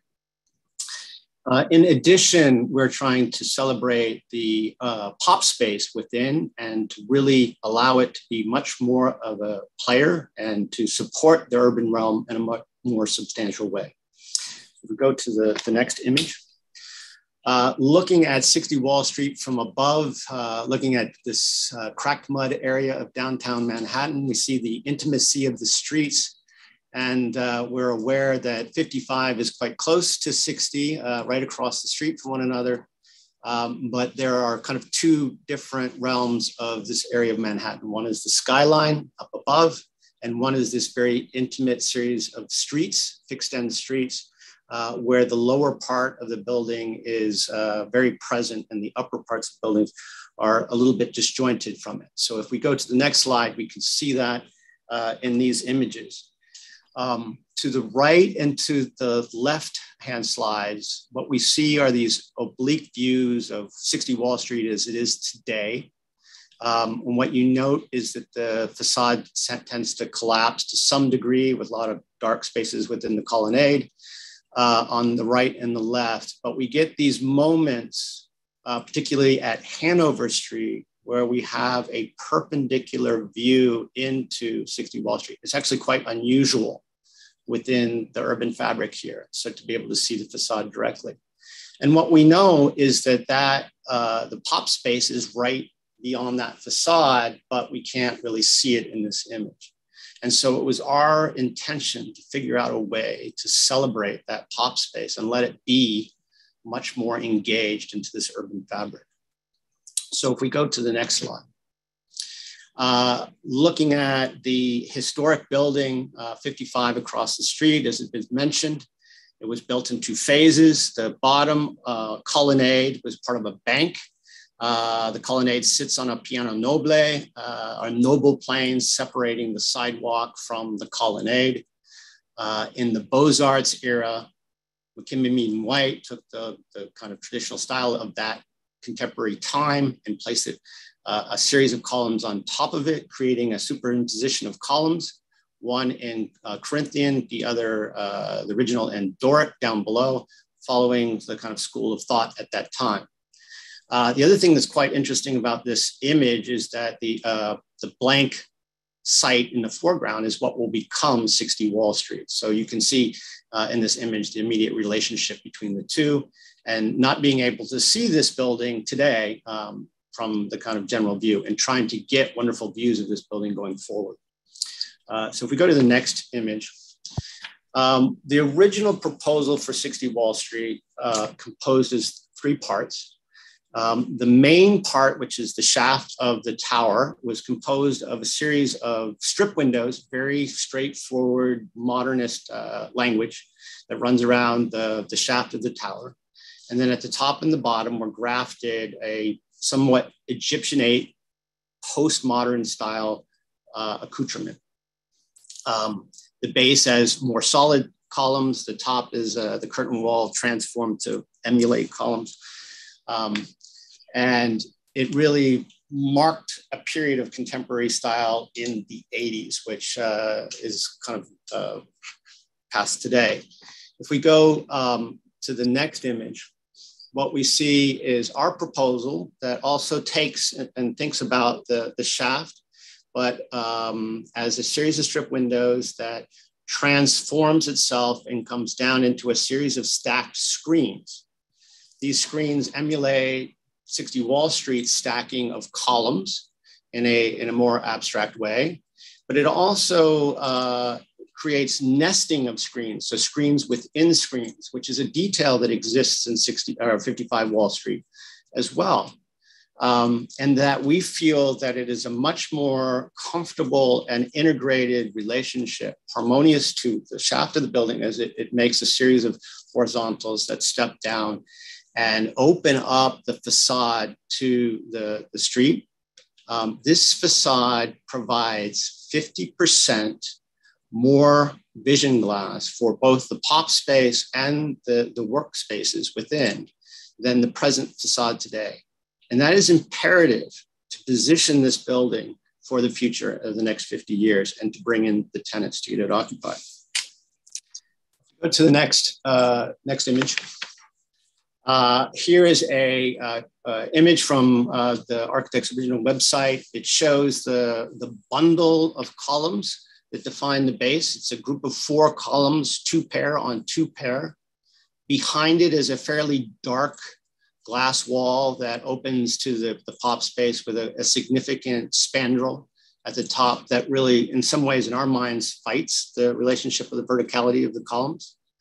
And then up on top of those columns, you see this kind of piling of a series of uh, Egyptianate motifs that go up uh, and define uh, the transition to the shaft or the, the tower up above. If we go to the, next image, uh, our proposal uh, intends to lighten up the whole facade. So what we've done is we've taken out all of the, the faux columns within the cadence of the colonnade so that you have one where there were two, and we've allowed those to breathe, to let the colonnade breathe a bit more. We've created this idea of nesting screens um, that sit within the colonnade uh, that allow those screens to reinforce the rhythm and the sort of mu- musicality of the, the cadence as you move up and down the street. It also transforms as we move from this oblique view uh, walking down uh, Wall Street to a perpendicular view, the, the wall opens up.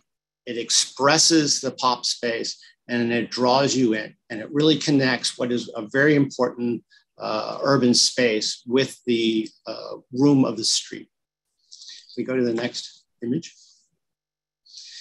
Here is a, a Nolli plan that tries to uh, describe the relationship of in, rendered in white, the pedestrian way as people move up and down the streets, and how important that is as you could move through the pop street, uh, pop space to connect Pine and Wall Street together. It becomes part of that connective uh, urban fabric, and that we really imagine the pop space is this continuation of Hanover Street that wanders through the inside of the building and then back out to Pine Street. Across the way at Wall Street, you can see the, uh, the colonnade is rendered uh, just below, and that the 55, and where it says 55 Wall Street, is the great room in the Cipriani, which is a, is a, a private hall. There's a big contrast between this public space and the private hall that's across the way. And it is our idea to try to transform this facade so that it becomes much more engaging in the public way and that it allows the pedestrians to move from sidewalk into their room, which is uh, the community room here, which is the pop space. And that leads to the MTA. Next. Uh, a quick quick view of the inside. Today, there's an Egypt, Egyptianate uh, uh, celebration on the on the, the, the pop space. It is the ceiling is brightly lit. It's very difficult to see uh, 55 Wall Street through this image. Um, our proposal, uh, if you go to the next image, is really to do a number of things. One is to create this wonderful uh, promenade or movement from Wall Street to Pine Street, but it is also to bring in a essentially a green park. Since we're limited on space, we've turned it vertically. We've cut a skylight up and brought a lot more light into the room. And we really see this space as commensurate with the sort of Parisian cafe experience where people sit and watch the theater of the street or the theater of people walking back and forth. Um, it's also maybe akin to the Milan Galleria. So what we're really trying to do is make these two things come together and bring people together in a much more emphatic way. Next. What you see here is a comparative uh, the original 60 on the interior of that space looking out to uh, 55 Wall Street. And our proposal, we've done two things. We've opened up the, the wall. We've made it a lot more transparent, the glass wall there. We thinned out the columns so that 55 plays a much more integrated role within the community room. We have also carved the ceiling back so that the facade can be much more expressed. So the integration between the presence of the outside and the inside are uniting. Next. Uh, this is a comparative series of slides. On the left is the uh, existing conditions of, uh, of 60 Wall Street as you look from the north and the, or from the east and the west, and are proposed right next to it on the right. And you can see how both facades look, for the most part, um, hold the same value in terms of holding the street edge. Um, the, uh, all, always our intention was that it is very important to define the space of the street of Wall Street. If you go to the next slide, that perpendicular view, here you can see where the dramatic change happens. From the existing condition, you can barely see the pop space, and our proposed really invites you in. Very important to the success and to the future of the space. Next. Uh, and then here you can see how all of those things come together. I think it's, it's important to note that for us, this, this transformation of, of more of a solid wall opening up, becoming an open, opening into the space is very important. Next.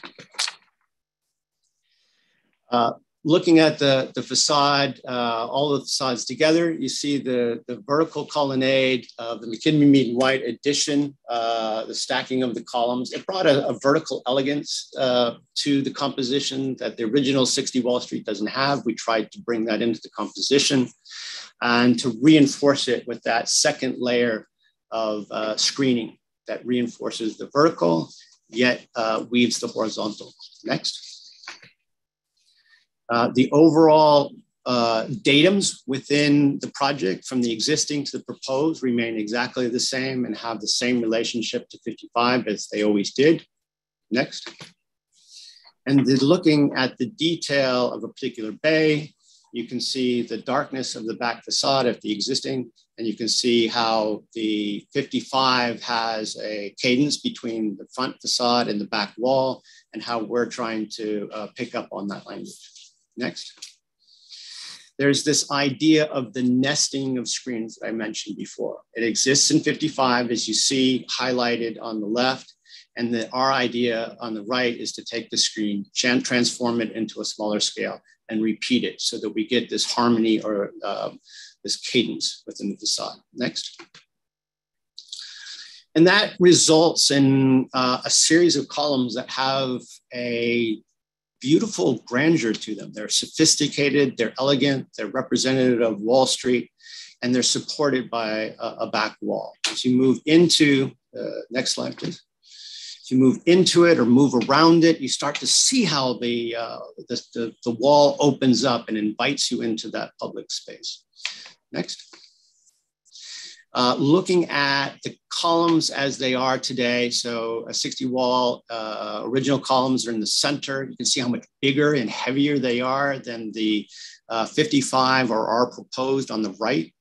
If you go to the next slide, uh, uh, one of the things we were very, very concerned with is how the base of the existing columns essentially isolates the colonnade space from the sidewalk. Those columns act as a significant barrier to the movement back and forth within the space.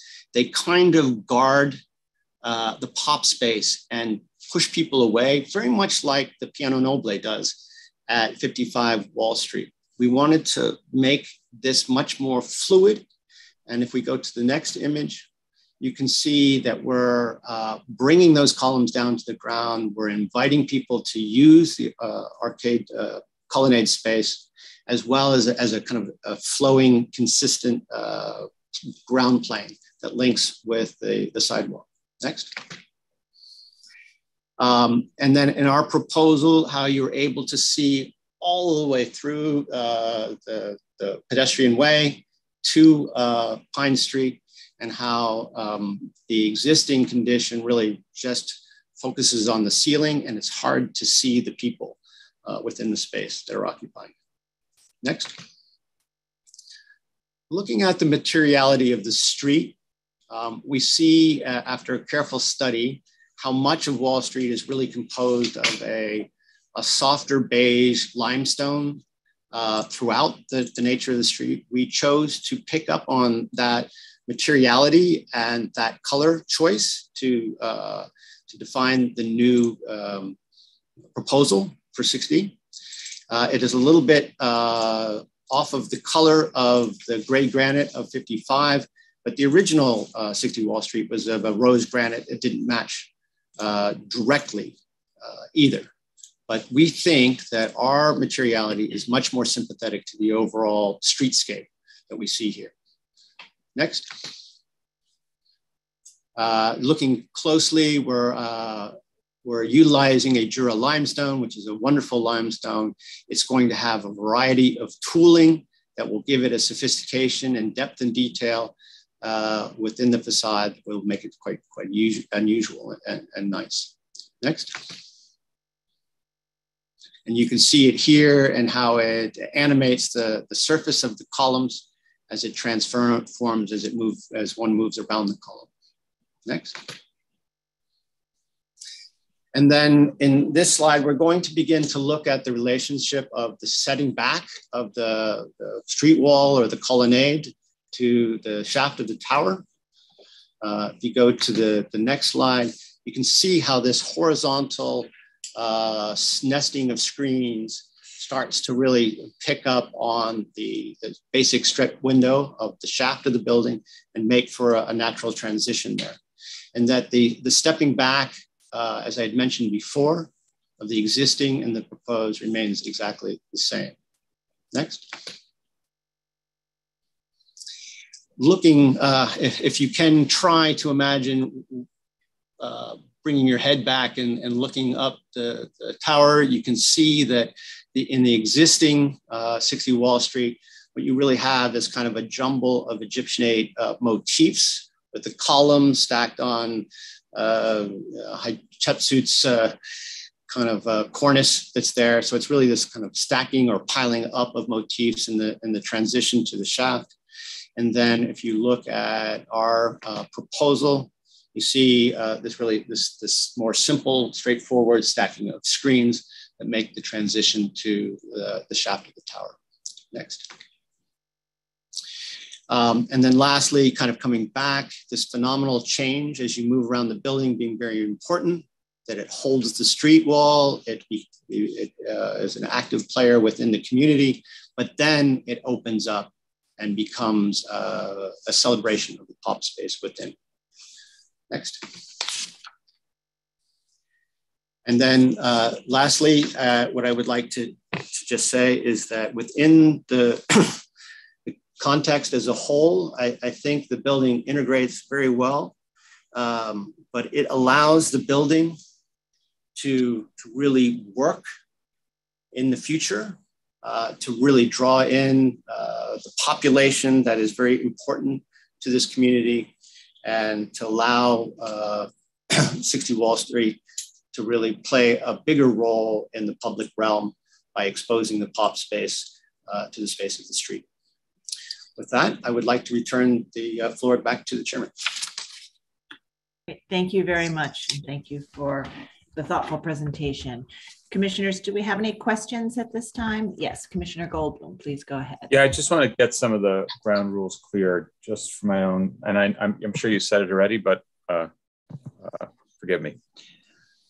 We're looking at this not because the building in question is in is in a historic district, not because the building itself is a historically designated building, but because the building in question was built pursuant to a determination that required a harmonious relationship between the sub- subject building, 60 Wall Street, and the building across the street, 55, right?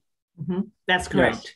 So we're really looking at the relationship of the modification as it affects the building as a whole's relationship to the landmark with special emphasis on the base pursuant to our own habits of looking mostly at the base. Correct. Correct. Thank you. Got it. And and just to sort of follow that thought, the applicant presented at the beginning the specific findings that we made at the time, uh, the relationship between the existing design and 55 Wall Street. And so that those can, as this is an amendment to that report, those can be sort of the initial guiding factors as well as any other thoughts you have. Got it. Thanks. Okay. Other questions? Okay, I don't see any questions at this time. Why don't we move to public testimony and we may have more questions after that. So um, if you're in the meeting and would like to testify on this item, please raise your virtual hand so we can identify you. As always, we start with anyone who signed up in advance and then we get to everyone else. Um, but whether or not you signed up, please raise your hand so that we can find you in the, in the list of attendees. And I also want to note that we have received a, number of uh, letters and testimony that were submitted in advance. And as always, all materials submitted to us have been shared with the commissioners. All right, and I will turn it over to uh, Sonia Gior to take us through the testimony. Great, thank you. So our first speaker will be Connor Allerton um, from Councilmember Chris Marte's office. And you should be able to unmute your line, Connor. If you could please state your name for the record, you'll have three minutes to speak. Hi, yeah, this is Connor from um, Connor Allerton from Councilmember Christopher Marte's office. I'm presenting testimony on behalf of the council member uh, the local council member for this application. Um, thank you, Chair Carroll and commissioners for allowing me to testify today. I urge you um, to reject this application for 60 Wall Street on the basis that the proposed alterations would no longer maintain a harmonious relationship with 55 Wall Street and would destroy the architectural significance of the existing facade and public atrium. Um, pursuant to section uh, 7479 of the zoning resolution, LPC's original approval of the development rights transfer from 55 Wall Street to 60 Wall was contingent on the harmonious relationship between the two architectures. The postmodern classical inspired design of the 60 Wall Street facade um, and atrium not only provides a beloved public space, but respectfully complements the Greek revival style of 55 Wall Street. Uh, the proposed alterations neither reflect the remaining architecture of 60 Wall Street nor provide any effort toward a harmonious relationship um, to its classical neighbor. Uh, the proposed piers and columns of the application uh, dilute the building's references to 55 Wall Street and strip away the creative and bold design uh, that makes this POPs uh, so unique. For these reasons, I urge the Commission to reject the application uh, as it uh, in no way enhances or maintains the harmonious relationship between these two buildings. Thank you. Thank you. Our next speaker will be Jason Friedman. And Jason, you should be able to unmute your line to accept the request for panelist.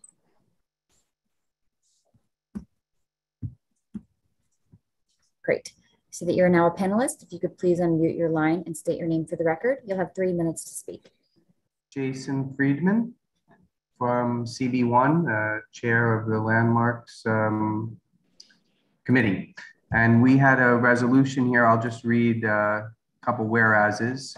Um, the proposal fails to harmonize with the classical design of the colonnade row or any other 18th or 19th century styles and does little to elevate the standing of 55 Wall Street or 60 Wall Street, all occurring along the very historical landmark Wall Street corridor. Therefore, be it resolved that Community Board 1 Manhattan recommends that the Landmarks Preservation Commission reject the proposal because it is not harmonious, nor does it improve on the findings of the special permit or improve upon the design characteristics outlined in the 1980s Landmarks Report. Thank you. Thank you. And our next speaker will be Roger Byrom. And Roger, you should be able to unmute your line. If you could please state yes. your name for the record. You have three minutes to speak. Thank you. Um, I'm Roger Byrom, a former chair of the Landmarks Committee at CB1 for 20 years. Uh, my uh, office is actually next door to 60 Wall Street. We're in 48 Wall Street. So I'm very, very familiar with um, the proposal. Um, the special permit was issued uh, to allow for a very large bonus to, to the development. And it seems to me that it's very important that the commissioners really focus on what that special permit required. And the special permit required has been has been clarified by Mark in that it the base, uh, the columns of 60 wall must be and should be harmonious with 55 wall. And as we've explained to Hugh and the applicant uh, a number of times at Community Board One, the proposal completely destroys that harmonious, harmonious nature. Um, we understand the, the struggle for light in pops, but we believe there's other ways to achieve that than destroying what the LPC um, uh, honored when it gave that special permit to 60 Wall Street. So, for those reasons, I think, as the commissioners have said, that's what you need to focus on. And that's why we would strongly recommend that you reject this application as presented. Thank you. Thank you. Our next speaker will be Andrea Okay. Andrea, you okay, if you could just state okay. your name for the record, you have three minutes to speak. Great, thanks, Sonia. Uh, good day, Chair Carroll. Good morning, Chair Carroll and Commissioners. I'm Andrea Goldwyn, speaking on behalf of the New York Landmarks Conservancy. The Conservancy has a particular interest in this proposal, the easement that Mark mentioned we hold on 55 Wall Street. It was established as part of the continuing maintenance agreement outlined in LPC's report to the City Planning Commission supporting the transfer of development rights from 55 to 60 Wall, along with the favorable comments on the original harmonious relationship between the landmark and the design of its new neighbor. The relationship between 55 and 60 is a textbook example of harmoniousness, and we cannot support this application, which would diminish it. Walking down Wall Street, there's a clear visual connection between the heavy colonnade at the base of 55 Wall and the row of robust, well articulated columns at 60 Wall. The proposal to replace them with minimal, slender columns would remove the most significant aspect of the harmonious relationship. In recent years, the Commission has heard several applications considering the harmonious relationship, usually of a low rise landmark and a new towering neighbor our comments have often questioned how the two buildings, which have no relationship, can be harmonious.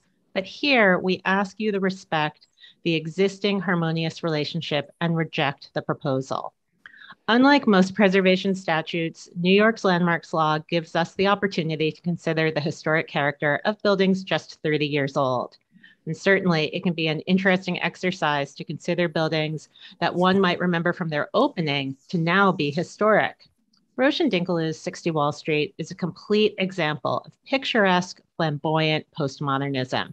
Instead of these proposed changes, this building merits evaluation by the Commission for designation. We hope that the owners will recognize that this design is a unique asset, perfect for our Instagram age, and it should be celebrated. Thank you for the opportunity to express the Conservancy's views. Thank you. Our next speaker will be Alice Blank. And Alice, I'll be promoting you to panelist now.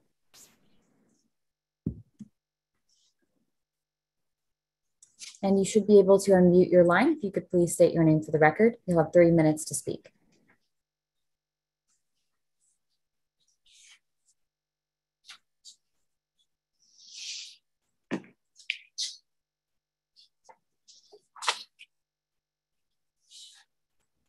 Alice, are you able to unmute your line?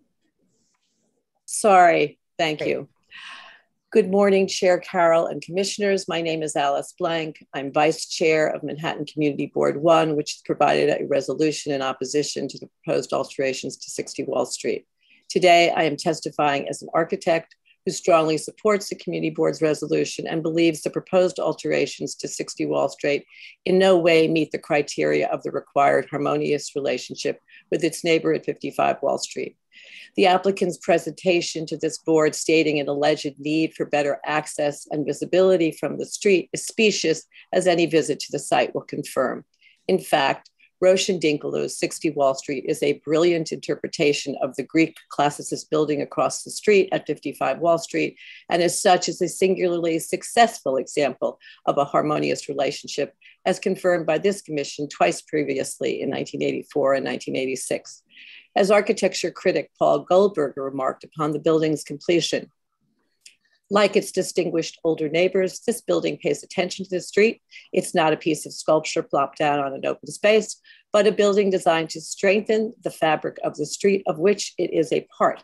On Wall Street, there is a strong granite base echoing in abstracted form the columned facade of the old City Citibank headquarters, 55 Wall Street, right across the street.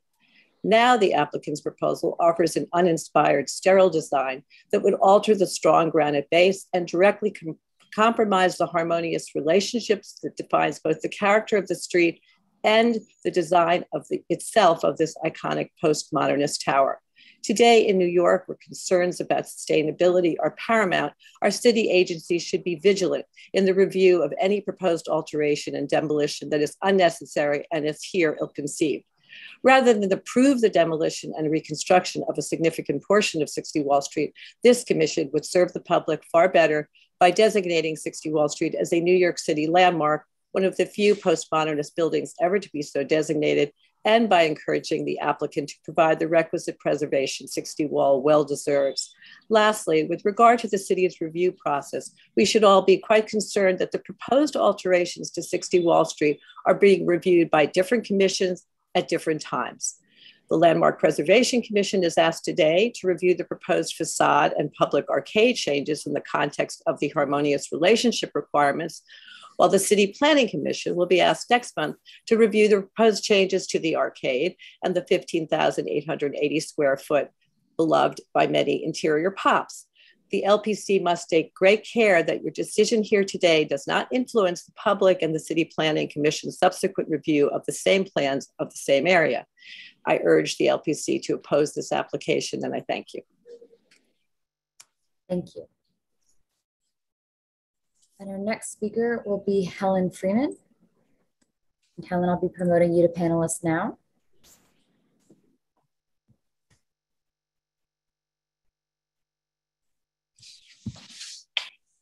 And you should be able to unmute your line. If you could please state your name for the record, you'll have three minutes to speak.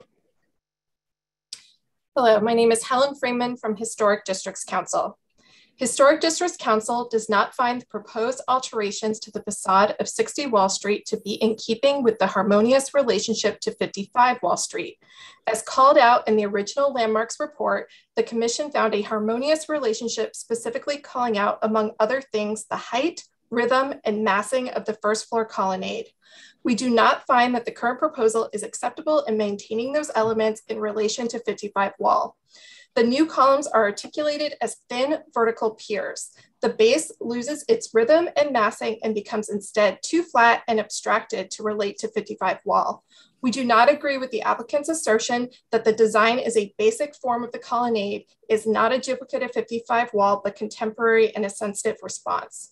To HDC, it seems to bear little con connection to 55 Wall Street, but rather evokes a standard contemporary corporate design as can be seen by any number of large corporate skyscrapers across the city. The existing exterior columns at the base and the exterior details up to the fifth floor would all be largely erased with the proposed design changes, eliminating the very important harmonious connection, which includes a strong visual connection of the columns at multiple scales between both structures. The change at the base of 60 wall now removes the overall consistency of the building, making it look like it is two buildings. Therefore, it loses the harmonious relationship not just with 55 Wall Street, but with itself as a cohesive architectural design.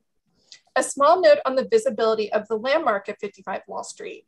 The applicant claims that the new glass entrance to the POPs will provide more visibility of the landmark, but in numerous renderings, they include hanging greenery that would block views of 55 Wall Street, making this unlikely. Finally, in addition to our comments on the harmonious relationship, we believe this building is a deserving candidate for exterior and interior designation.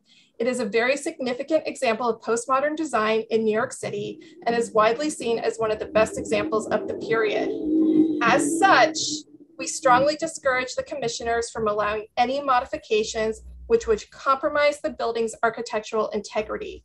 We urge the LPC staff to consider the designation of this site in the interim. Thank you.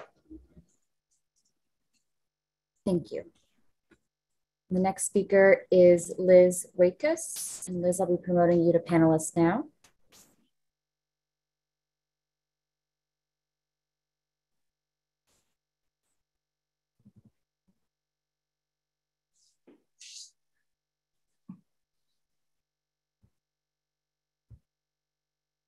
And Liz, you should be able to unmute your line. Uh, if you could please state your name for the record, you'll have three minutes to speak. There we go. Um, good morning, Chair Carroll and commissioners. Um, I'm Liz Waytkus, uh, Executive Director of Docomomo US. During the last few years, Docomomo US has been focusing more of its resources on postmodernism and the design of the recent past as significant examples are increasingly threatened due to lack of appreciation, and understanding, and research. Our organization is now in a position where we believe 60 Wall Street is worthy of historic designation, and we are pleased the Commission has an opportunity to comment on the proposed changes through a harmonious relationship report with its neighbor at 55 Wall Street. Docomomo US does not find the proposed alterations to the facade are in keeping with the harmonious relationship. We do not find the thin vertical piers proposed at the base will maintain this relationship, nor do we find the blended facade articulation from the base up to the fifth floor to have a meaningful relationship to the stacked facade of 55 wall. The horizontal division of the two stages of design are perhaps just as important as the colonnades. The current design articulates this in a masterful way where the proposal does not. The existing double chamfered columns that line the base of 60 Wall Street also do an excellent job maintaining the street wall and its relationship on one of New York City's most important and historic streets. We also find it alarming that the proposed the proposal seeks to alter only the lower level of the facade. By alternating the base and not the tower, the new design would not be harmonious with 55 wall, and it would not be harmonious with itself. We find these proposed changes to be unnecessary. We believe they would negatively impact the entire length of Wall Street, disrupting the visual bridge so carefully considered by the Roche office. We urge the commission to deny the proposal. Docomomo US would also like to encourage the commission to consider the exterior and interior designations submitted by our organization for 60 Wall Street. The 30 year requirement of the landmarks law gives us all a unique opportunity to consider more designs of the recent past. While some may have considered postmodernism to be unattractive just a few years ago, we should all take pride in the fact that Midtown now boasts landmarks such as the Ambassador Grill and the AT&T building. Seeing postmodernism, or in fact seeing any architectural style, sometimes takes a fresh set of eyes and a bit of time as tastes change and as we are able to consider a building's cultural and historical significance more constructively. Docomomo US does not believe there is a flood of postmodern designations. However, 60 Wall Street is one of these important examples that still must be recognized. Thank you. Thank you. Um, our next speaker will be Josh Nachowitz, and I'll be promoting you to panelists now.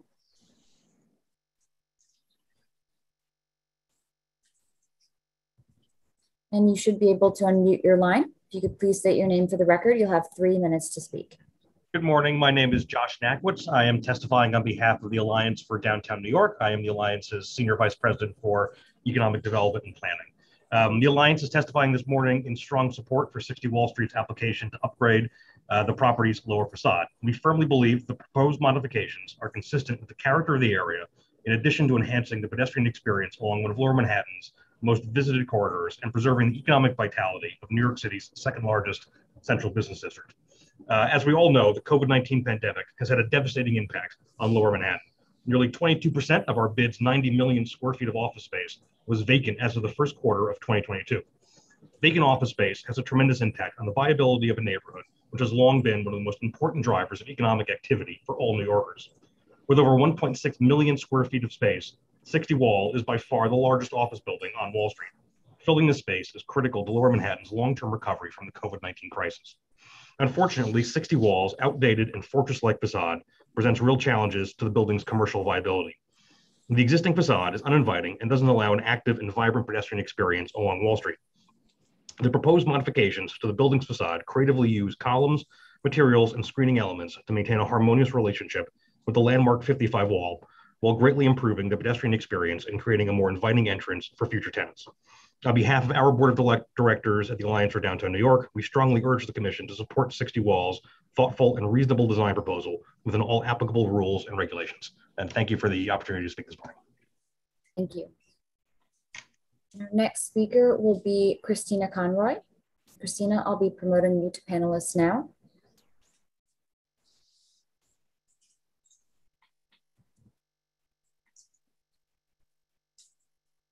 And you should be able to unmute your line. If you could please state your name for the record, you'll have three minutes to speak.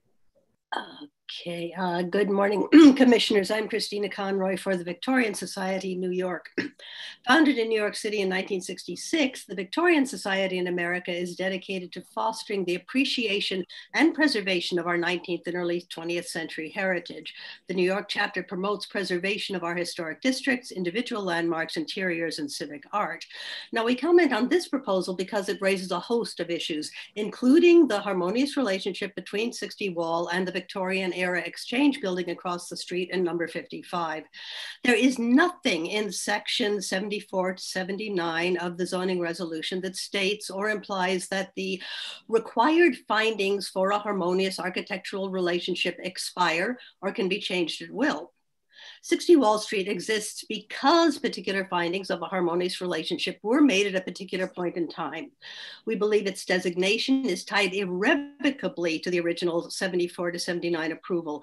If the design changes, the transfer of developmental rights should be null and void. Now, we also have a fondness for the postmodern design movement as an effort, flawed and aborted though it was, to reconnect with the long tradition of Western architecture. We believe 60 Wall is a significant and successful example of postmodern design. It is harmonious with and indeed enhances the historic character of Wall Street, especially 55 Wall. The proposed redesigned tower seems like a throwback to 1960s modernism, modernism, whose features of the existing building cited in the original approval as contributing to the harmonious relationship with 55 Wall Street are gone, replaced by features with no such relationship the applicant claims that the relationship is enhanced in the proposed design because a better view of the landmark from inside 60 Walls lobby. Now, this focus on viewing the landmark is a trope equivalent to the idea of a reflective glass facade being just the thing adjacent to a historic building because it reflects the historic facade. Now, both concepts demonstrate a lack of understanding of what harmony means in the context of the architecture of cities. Now, finally, commissioners, projects such as this show us just how shallow the concept of sustainability is to the real estate community. Thank you. Thank you. And so those are all of the speakers who signed up in advance. And as a reminder, we do always have our speakers signed up in advance speak first. So now we'll move to anyone else who has raised their hand. And we do have one hand raised. Um, I could please, I'll unmute your line. And if you could please state your name for the record, you'll have three minutes to speak. Confirm that you can hear me, please. Yes, we can hear you. Good afternoon. This is Theodore Grunewald. Today's applicant gives the game away when, on page 51 of their presentation, they state that 60 Walls' outdated postmodern design is no longer a contemporary response, close quote. Commissioners know that we have heard this rubric many, many times before. Much of the world's great Victorian and Gothic revival architecture fell to the wrecking ball when early 20th century tastes changed to classical revivalism and later modernism. In the post war period, it wasn't until the 1960s that Beaux Arts and later in the 1970s, Art Deco architecture was taken seriously enough to merit historic preservation. With postmodernism, so the pendulum of taste swings back again, from ridicule to reappraisal and reappreciation, as the wrecking ball is, yet again, poised to strike.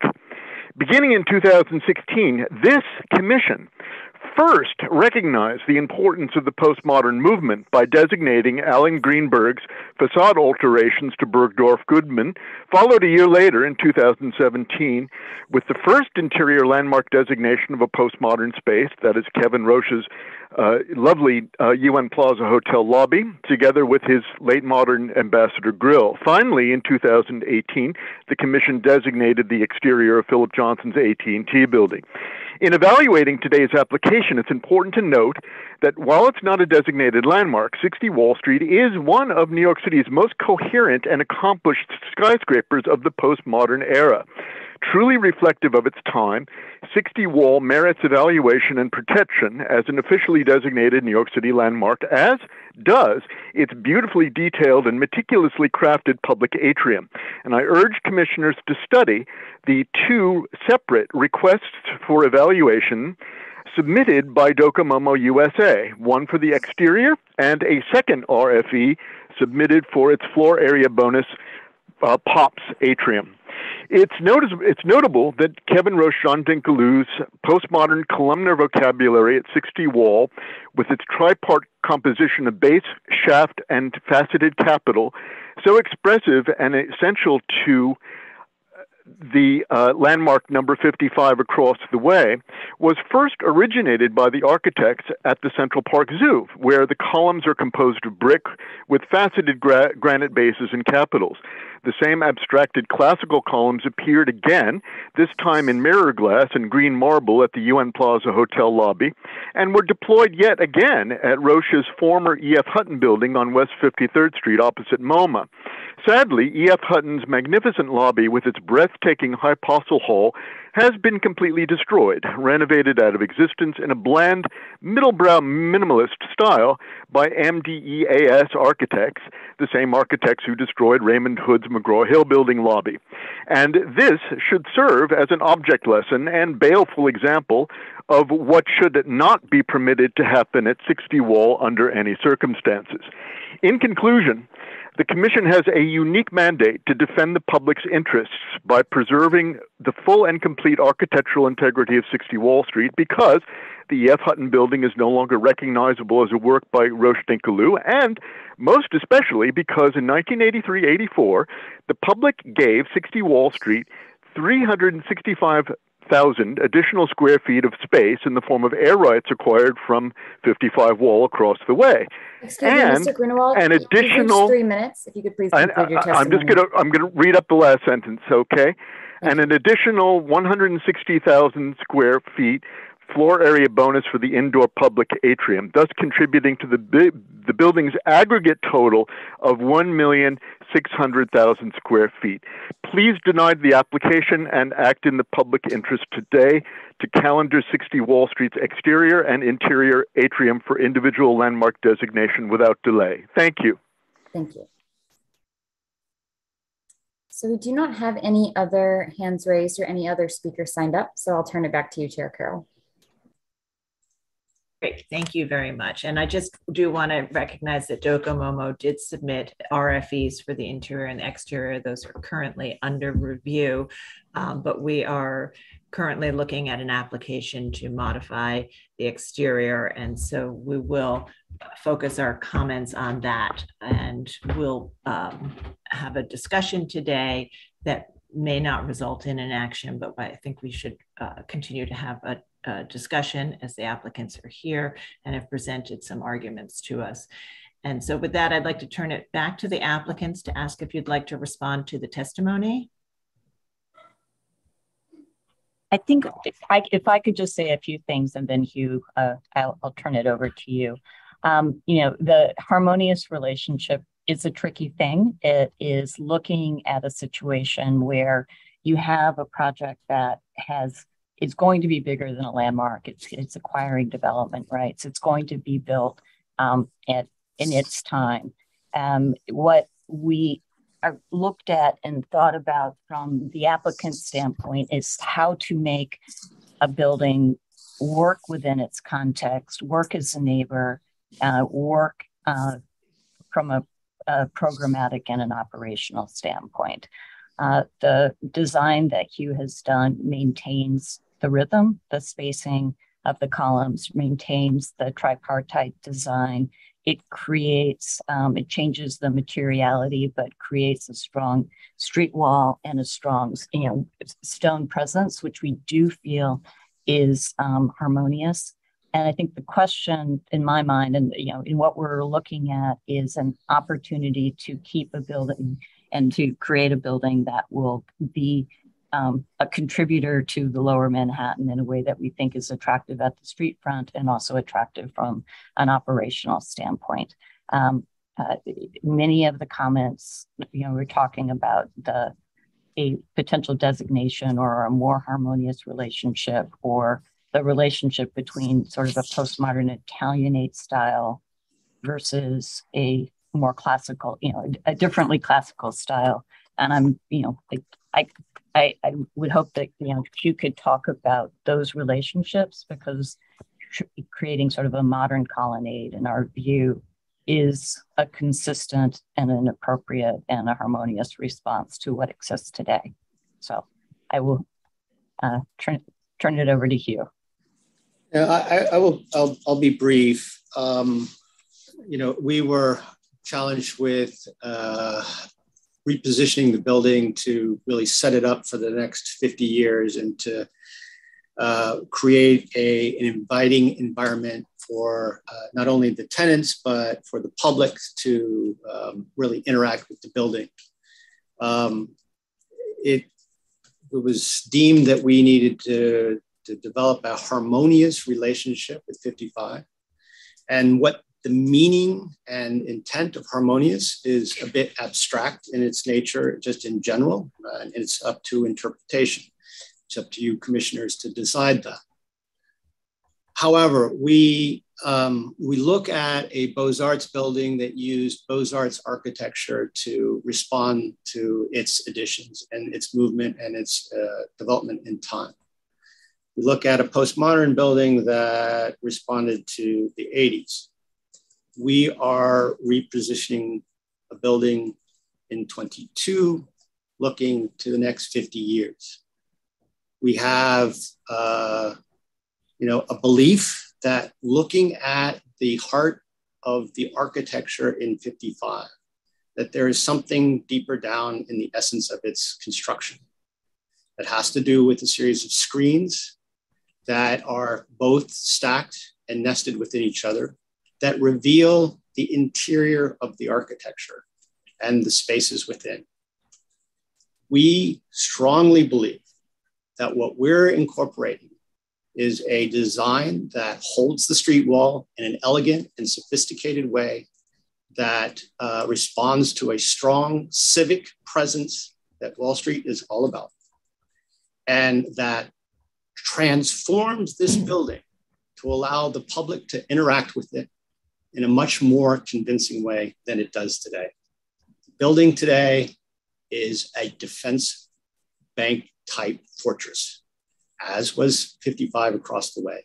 We want to invite the people in so that the public realm is much more active uh, for the whole nature of Wall Street.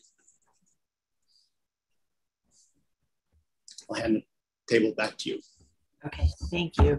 Thank you. And I just wanted to um, note, as I said earlier, that we did receive a number of letters and, and written testimony in advance of the hearing that were shared with the commissioners. And I'll just ask Sonia to give us the number and, and briefly summarize that.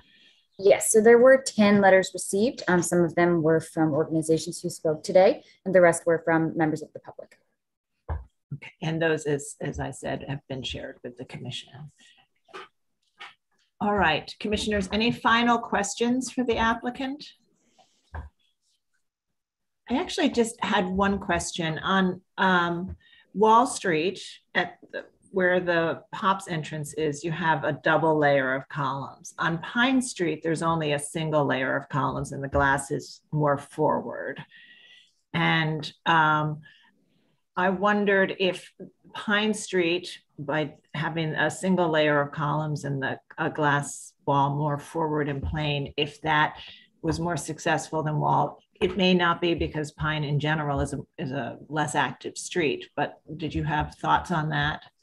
Well, um, what, what you described is, and when you say double, it's a little bit confusing with our building because there's two two pair on two pair in right. the original. And when you're, I think you're talking about one behind the other, yes, right? In, in right. terms of moving into the building. So we'll clarify that as you talk about. Um, in on the Wall Street facade, it is a continuously exposed double reading of the columns. On Pine Street, there are there is a moment in which that double wall is, is expressed, and that is on entry to the pop space. So you do get a kind of a fragmented moment of that. The rest of the facade, as as you know, it's essentially a mirror of the Wall Street compressed in space, but it does open up just that that much at the pop space. So you are seeing that, that double layer happen. I think that um, the, the idea of moving through uh, on, on Pine Street as well as uh, Wall Street is uh, very sympathetic to um, the, the kind of overall flow. And I do think it, it, it helps to provide a balance, even though compressed in space.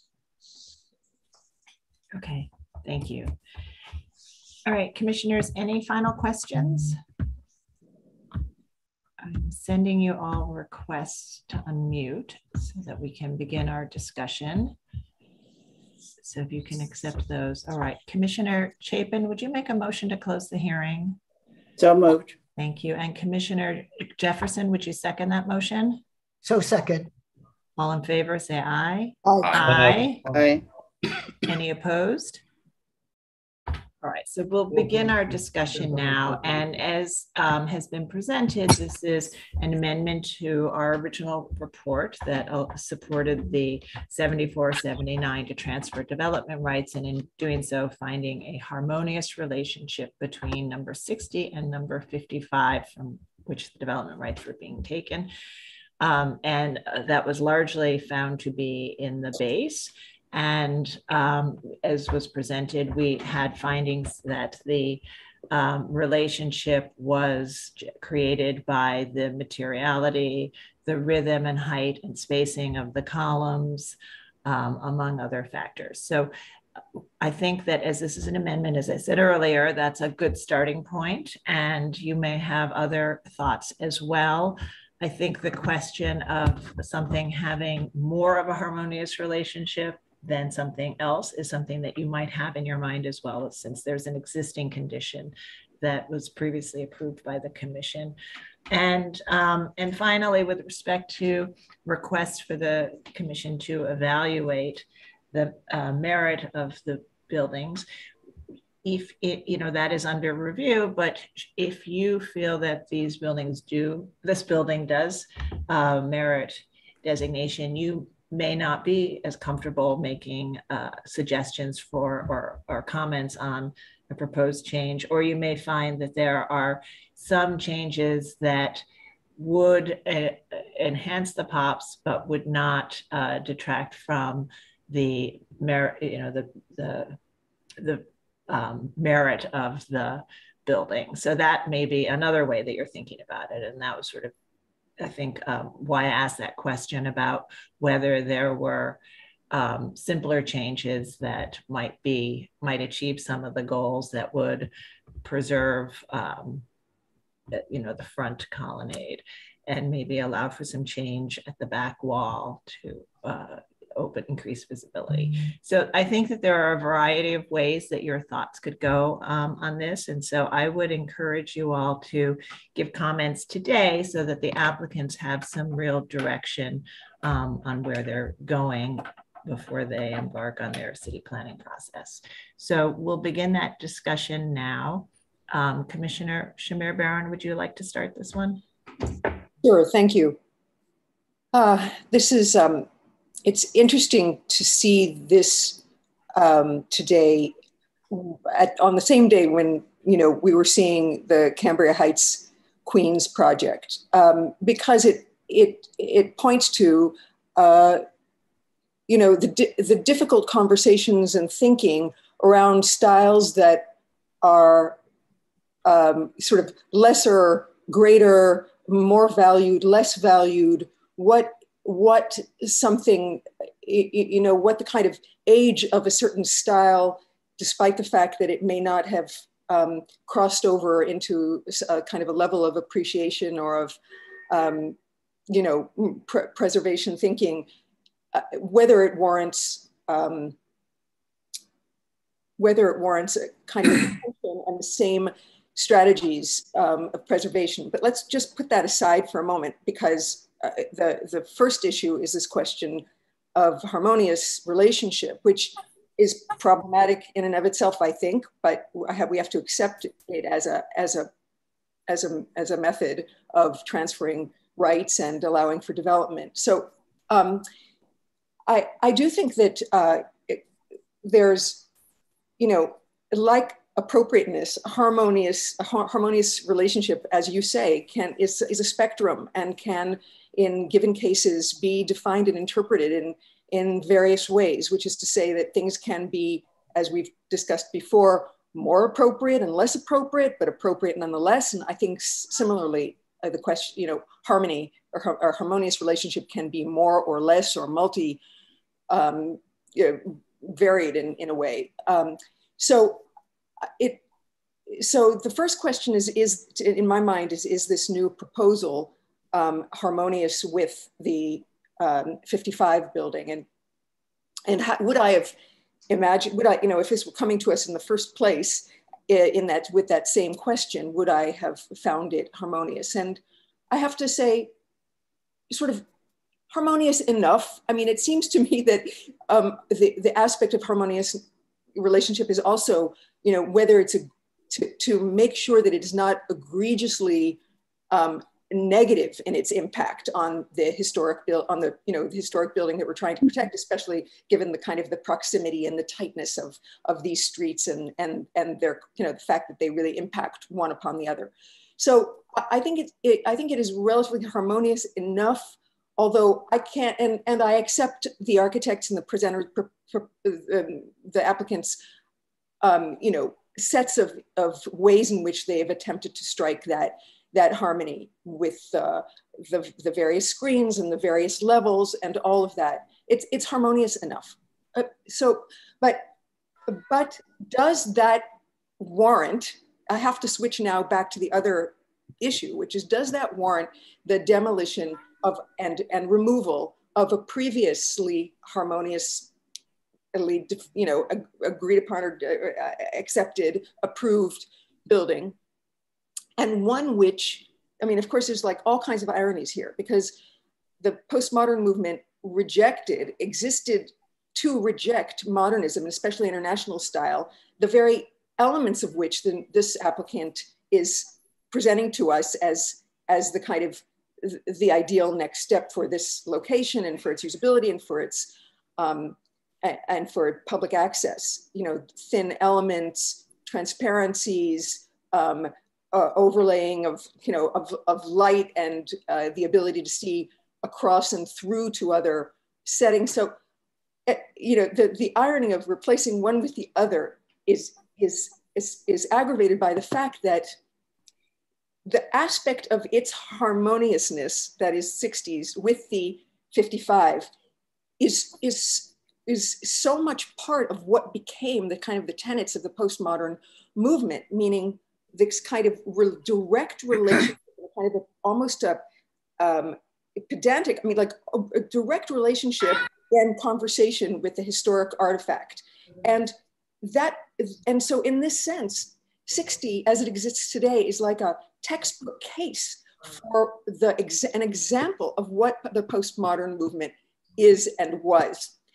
I voted against uh, the changes to to the AT&T building, 550 Madison, because I thought that the, that while I'm not a great proponent of postmodernism, I thought that it that it needed to be um, respected. Uh, you know, the the what the, the darkness of the entry, the double the double piers, the the the weight of that building, the kind of the gloominess of that building um, is needed to be um, maintained. And and uh, I think I was among the only one, maybe the only one who voted against the changes to that building. So I have to ask myself the question of like where I am here on this. I'm, I know I'm, I'm going on and on, but I will say one thing. I, find it to be a, a, a problematic. I accept the fact that the new proposal might be um, have an aspect of harmonious relationship to the 55 building. I don't know that that warrants or it makes reasonable the removal of this other building, which was in a sense a textbook case for a style, a style which had a sense of place as per Cambria, and a style that developed its own kind of bottom te fundamental tenets in, in this conversation with the historic. But I would say that if there, if we all agreed that there could be something that could happen here, I could imagine that the existing building, the existing postmodern building by uh, Roche Dinkeloo could be modified in that the glass face beyond in front, you know, sort of closer to the building from to the columns could become more transparent, could become more glazed and while retaining the existing columns, meaning that you could actually see more reflectivity, you know, have more, more reflected of the of 55 in it, and also that, that, that there might be more of a, of a public um, direct engagement with the street. So I'll stop there. Thank you.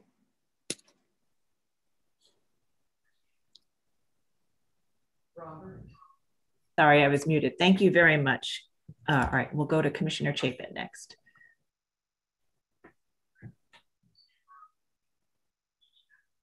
Thank you, Sarah. Um, obviously, the applicant is competing with an outstanding original existing solution by Roche Dinkeloo, which uh, was so well done at the time that the uh, individual, an individual designation of the exterior and, and the interior does not seem inappropriate.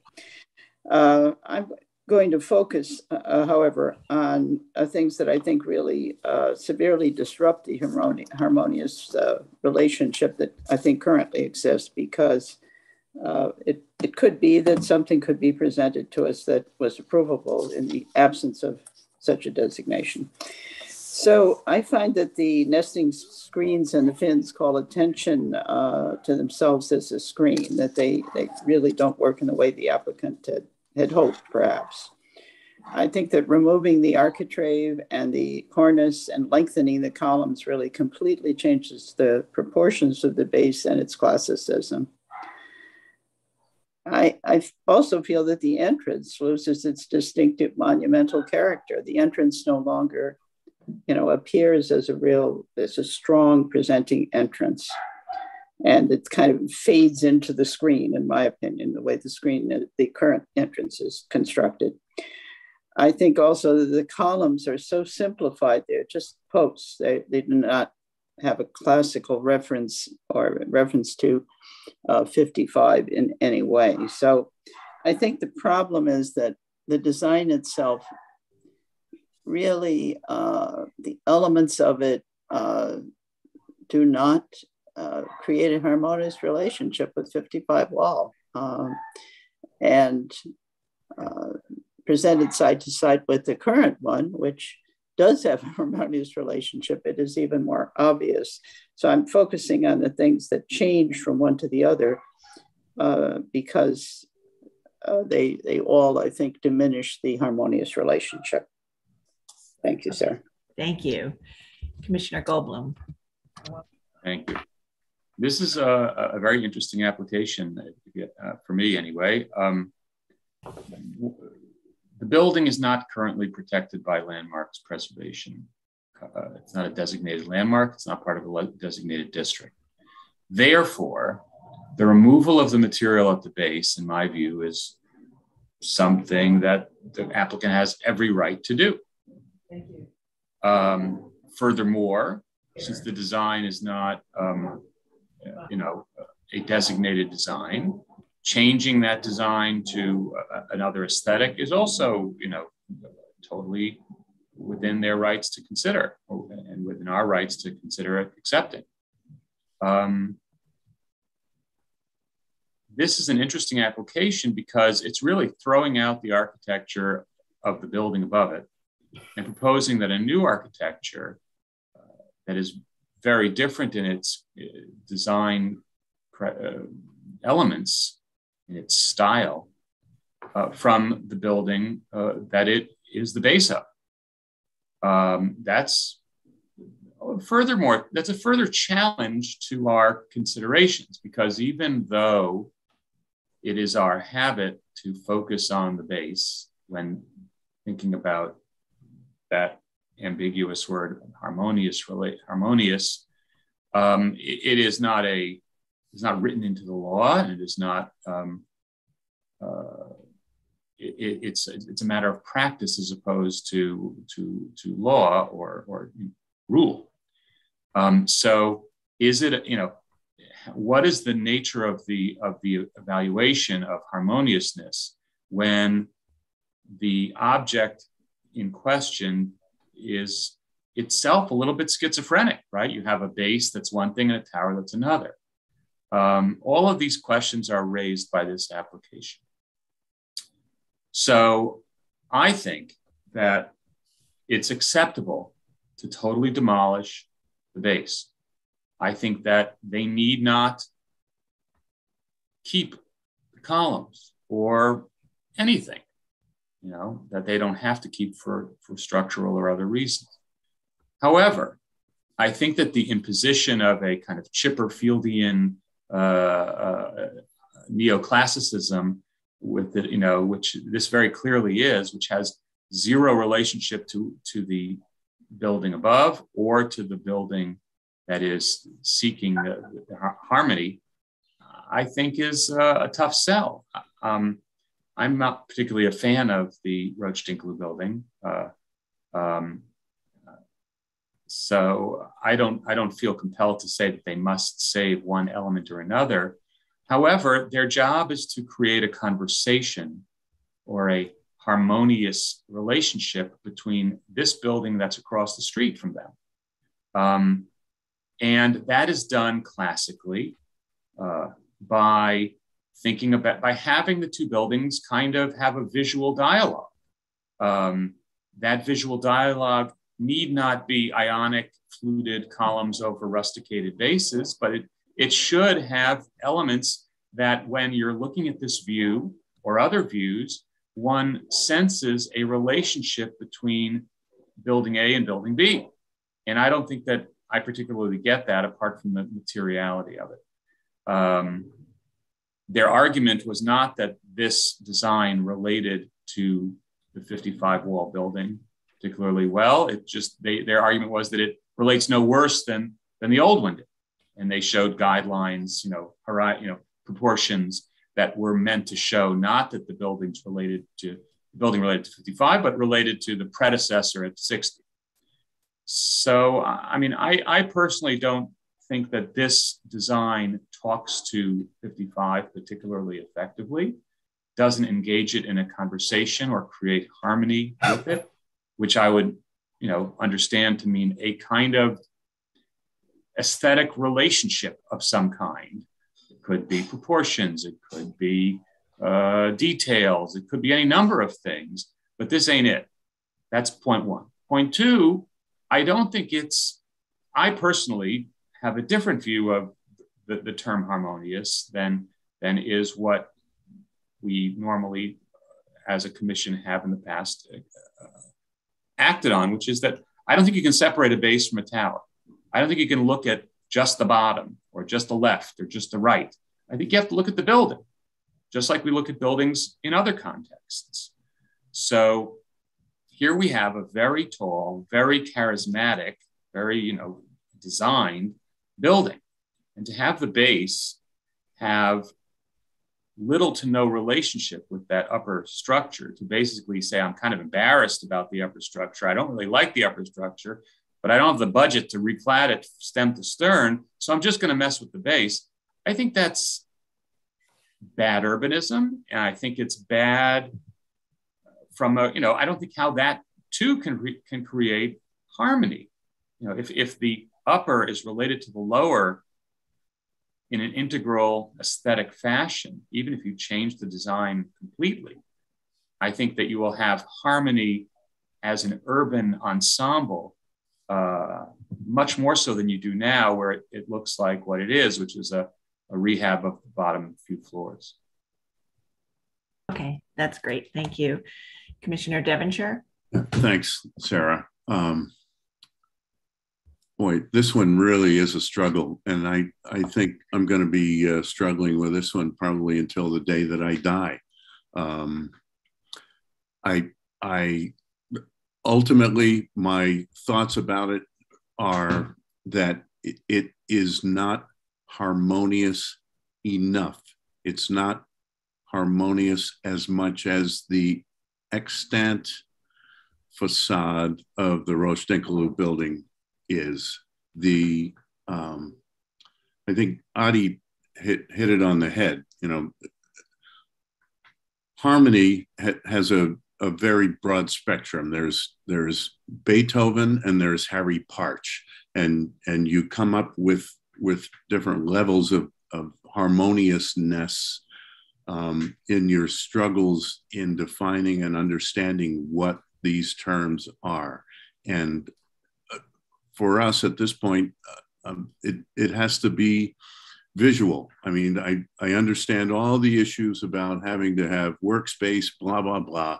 And I, I actually think that what they've done to the pop space inside is um, admirable.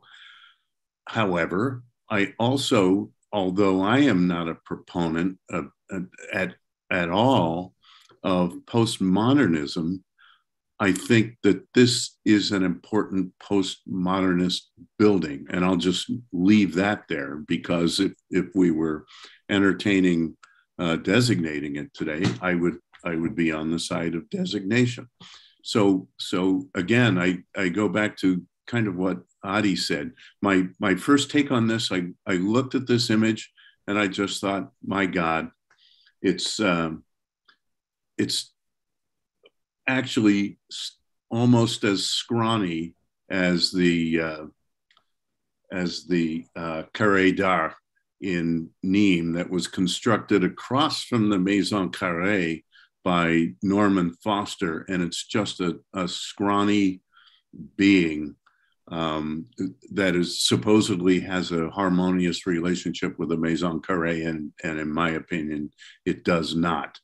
So where I come down is that this this colonnade is absolutely uh, disharmonious to 55 if they could somehow reconfigure what's going on with the, the glazing behind it to give them the light that they need to to enhance the supposedly new office space uh, blah blah blah i would I would be in favor of that.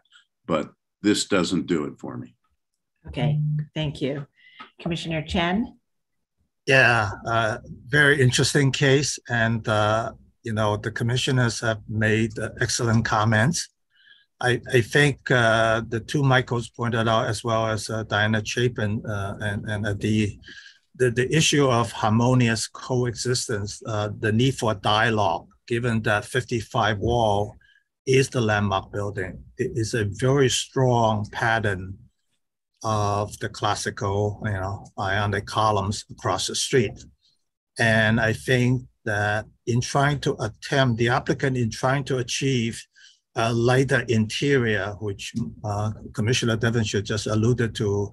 Um, I think they succeeded on the inside, but I think they went too far on the exterior in trying to make this rhythm of columns or patterns um, on the street a little bit too slender and too thin that to a point of in trying to achieve the, uh, the, the objective of light and air going inside, uh, it rendered the, the, the, um, the, uh, the, the original design uh, by Kevin uh, and, and Dinkeloo uh, design to, uh, to, uh, to, a, to a different level. So I, I, I would suggest that uh, follow other commissioner's suggestion that the applicant really should study and restudy the proportions because there's a strong dialogue, at least on the base. I mean, uh, Wall Street area, as you know, is very few people look up um, that, that often when you're in a hurry. Um, but uh, there is clearly a very strong need for a, a, a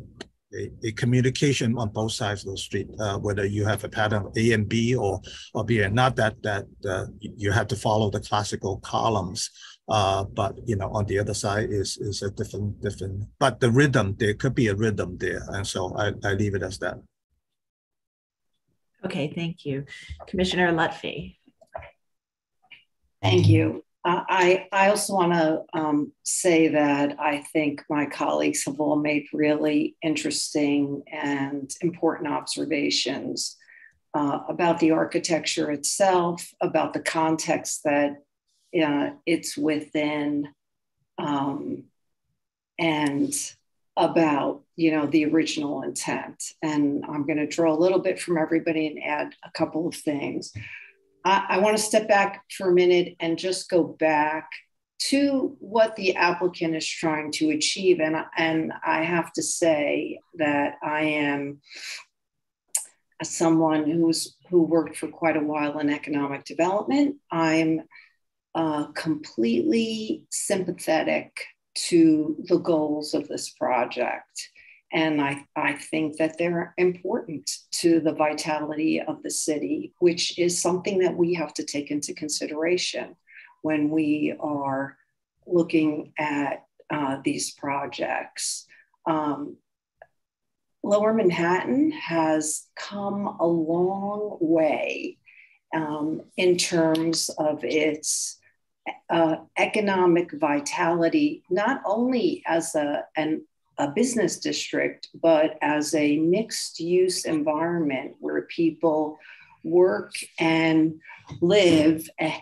And it's taken some time. And I, I think it's important, uh, given the current state of uh, the commercial market in New York, um, to take this seriously when we're looking at these projects because all that has been layered on here and built, I think we want to try to maintain. I mean, the move to Midtown is, I think, from a very important financial services firm, is, is something for everyone to think about because there's there's a shift in the in the uh, finan- in the uh, economic base of this city. And, um, you know, we're industry wise. And I think we want to try to, we want to be able to both maintain the core of what the strength of this district has been and also attract uh, new industries and many of the new industries are moving to different kinds of places. So, in and of itself, um, the the goals behind this this uh, the applicant's efforts, I think, are important, and I do agree. Um, and I think Adi mentioned it first. I mean, it you know, if you were to look at this just in a vacuum, if this was new construction in this area and it was a very coherent architectural piece, I think we might, or I would, feel that there there is a connection between 55 and 60, and there is a rhythm. And even in this particular view, as I'm looking at it, and it might look as though these columns are slim, and they are slim from a perspective, uh, but they are they are they actually do have some heft, and I feel like there is a rhythm here that that works, and I think this this desire to make sure that space how spaces built not only office buildings but other buildings culture residential et cetera how they hit the ground these days in particular is very very important and so the idea of having something that is porous and a little more light filled and potentially animated um, is is a worthy goal um, and one that I support. That said, uh, as my colleagues have also mentioned, I don't think that the base of this building speaks to the rest of the building successfully.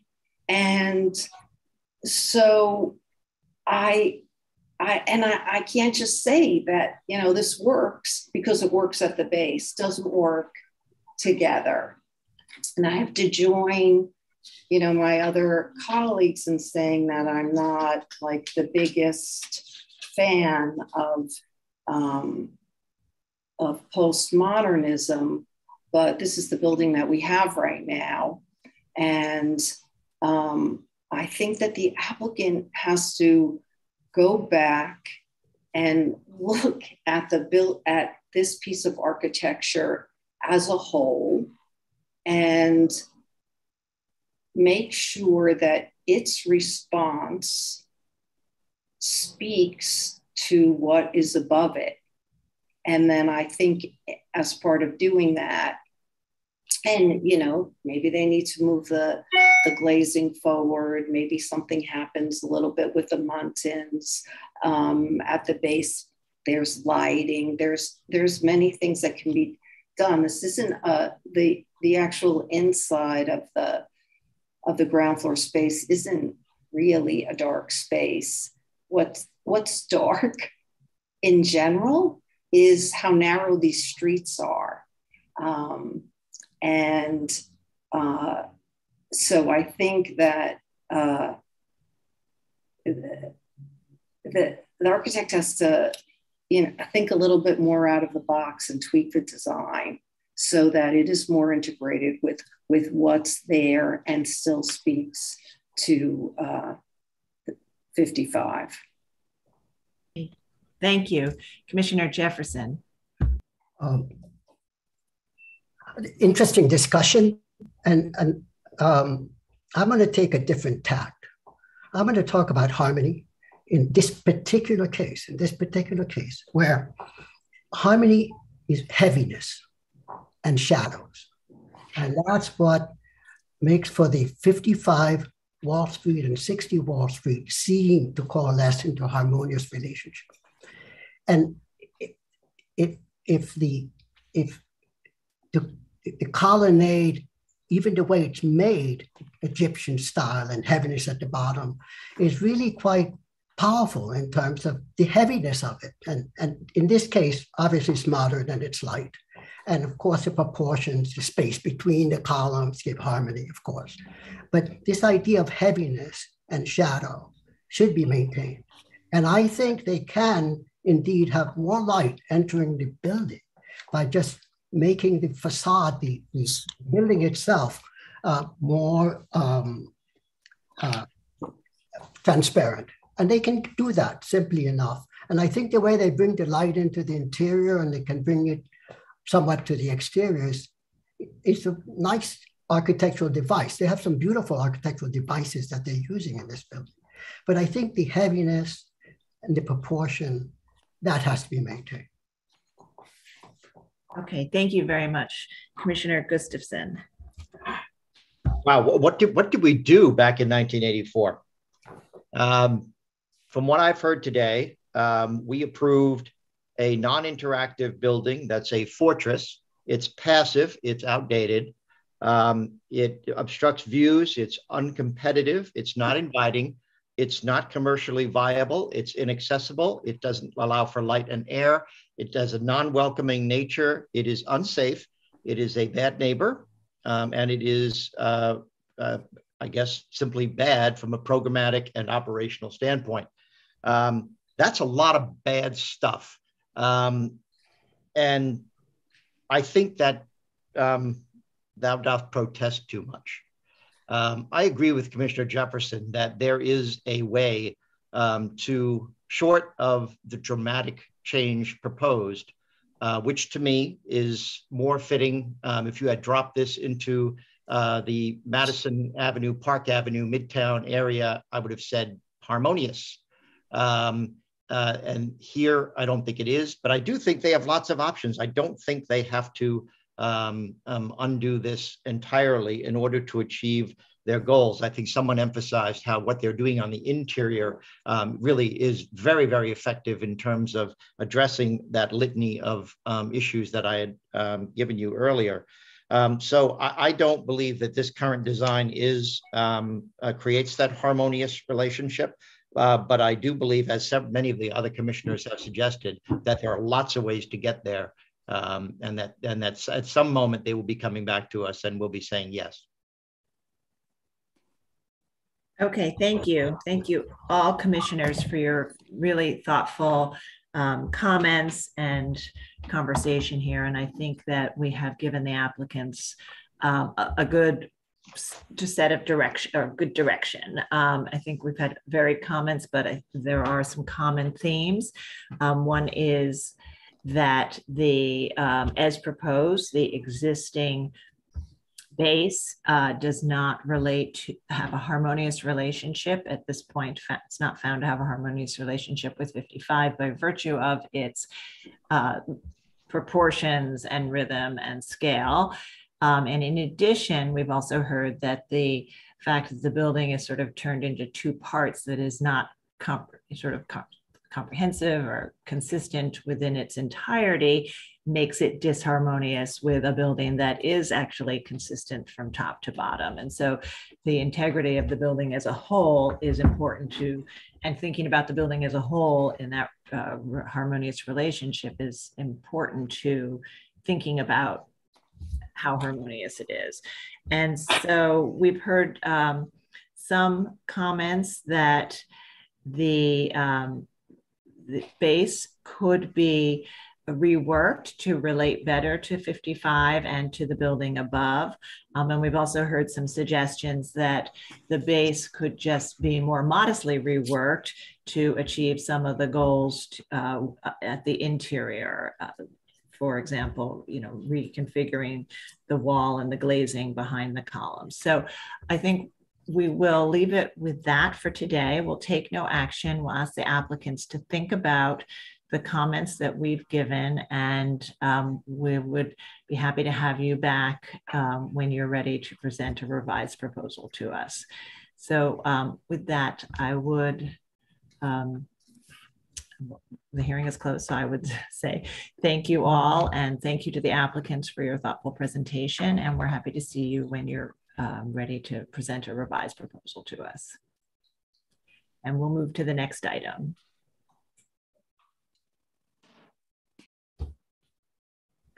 Okay, the next item is public hearing item number two, LPC 22-09590, an application for a certificate of appropriateness in the Borough of Manhattan Block 610, Lot 9, 225 West 4th Street in the Greenwich Village Historic District. This is a utilitarian brick building built in the 1920s and two row houses built in 1873. And the application is to reconstruct an, an enclosed sidewalk cafe, uh, modify openings, and install storefront infill. Hey, commissioners, the applicants have entered the hearing. Uh, Jackie, you now have control of the presentation. Just click on your screen and then you can advance the slides. Please state your name for the record and you may begin. Thank you so much, Abby. Um, hello, everyone. Can everyone hear me okay? Yes? Just nod. Okay. Yes, we can hear you. Thank you. Um, hello, commissioners and landmark staff. thank you for uh, hearing our application today. My name is Jackie Peu-Duvallon. I'm the preservation consultant on this project. I'm here today with the architect, Matthew Grzywinski of, Gris of Grzywinski Pons Architects and Tim Sykes of Ruby's Cafe. Excuse me. The project we're showing you today is 225 West 4th Street, the location of a new Ruby's Cafe. The proposal is to replace the existing enclosed sidewalk cafe, install new window open, a new window opening, uh, install new windows within existing masonry openings, repaint the facade, and install painted signage, and to install rooftop HVAC equipment. The project location is at the convergence of 7th Avenue South, West 4th Street, and West 10th Street. These three buildings are combined into one tax lot on this triangle of land that was formed when, when 7th Avenue South was cut through. The restaurant space occupies the one story triangular building at the south end of the lot and the basement floors of the two adjacent houses.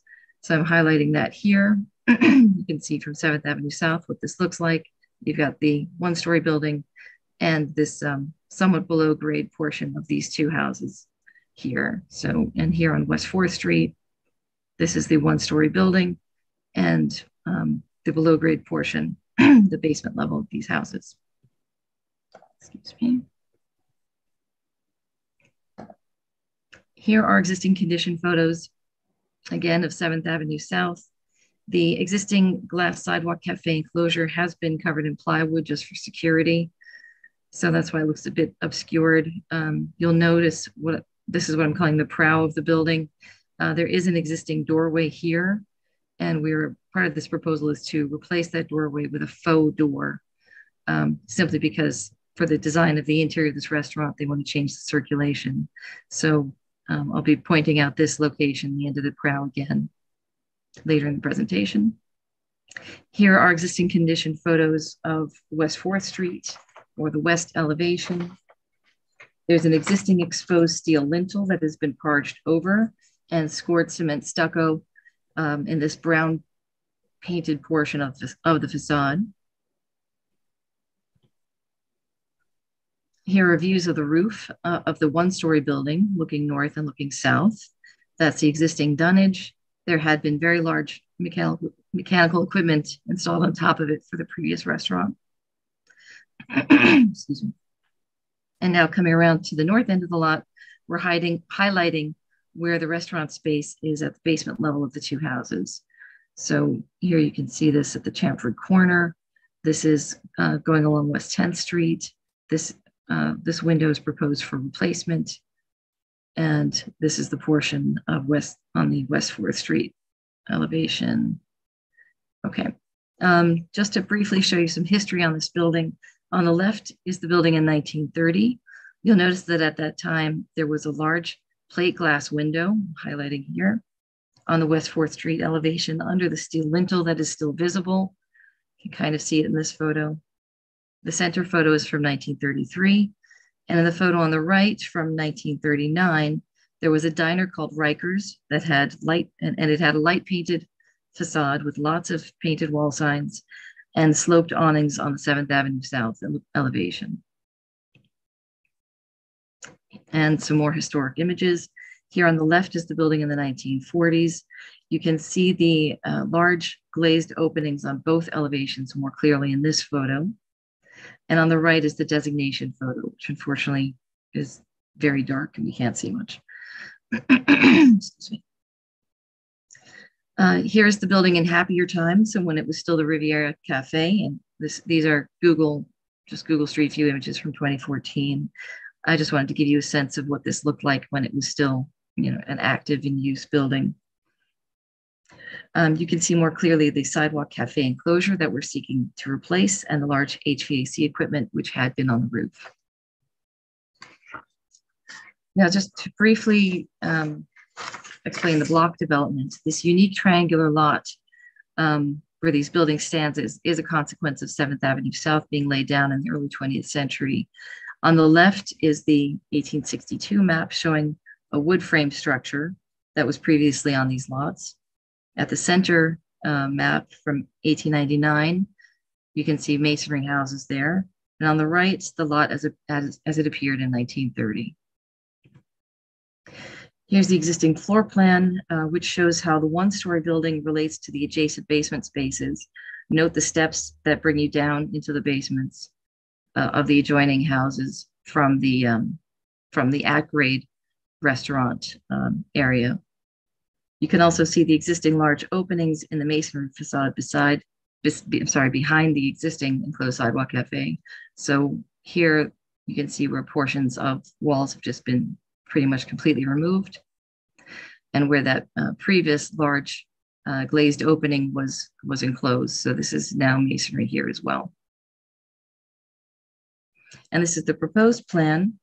Uh, you can see the new windows installed within the existing masonry openings on the 7th Avenue South elevation. That's coming along here. And the new window opening that's proposed for the West 4th Street elevation, showing that here. Now I'm just going to take you through um, elevation drawings. So here's the existing 7th Avenue South elevation. I'm going to, can I zoom in on this? No, I can't zoom in. Um, basically, I'm sorry that these notes are so small, but what we're showing you is there's painted brick here. This is um, just a glass and aluminum assembly for the enclosed sidewalk cafe. Um, there is, uh, there's these brick columns, which actually have steel angles on the outside.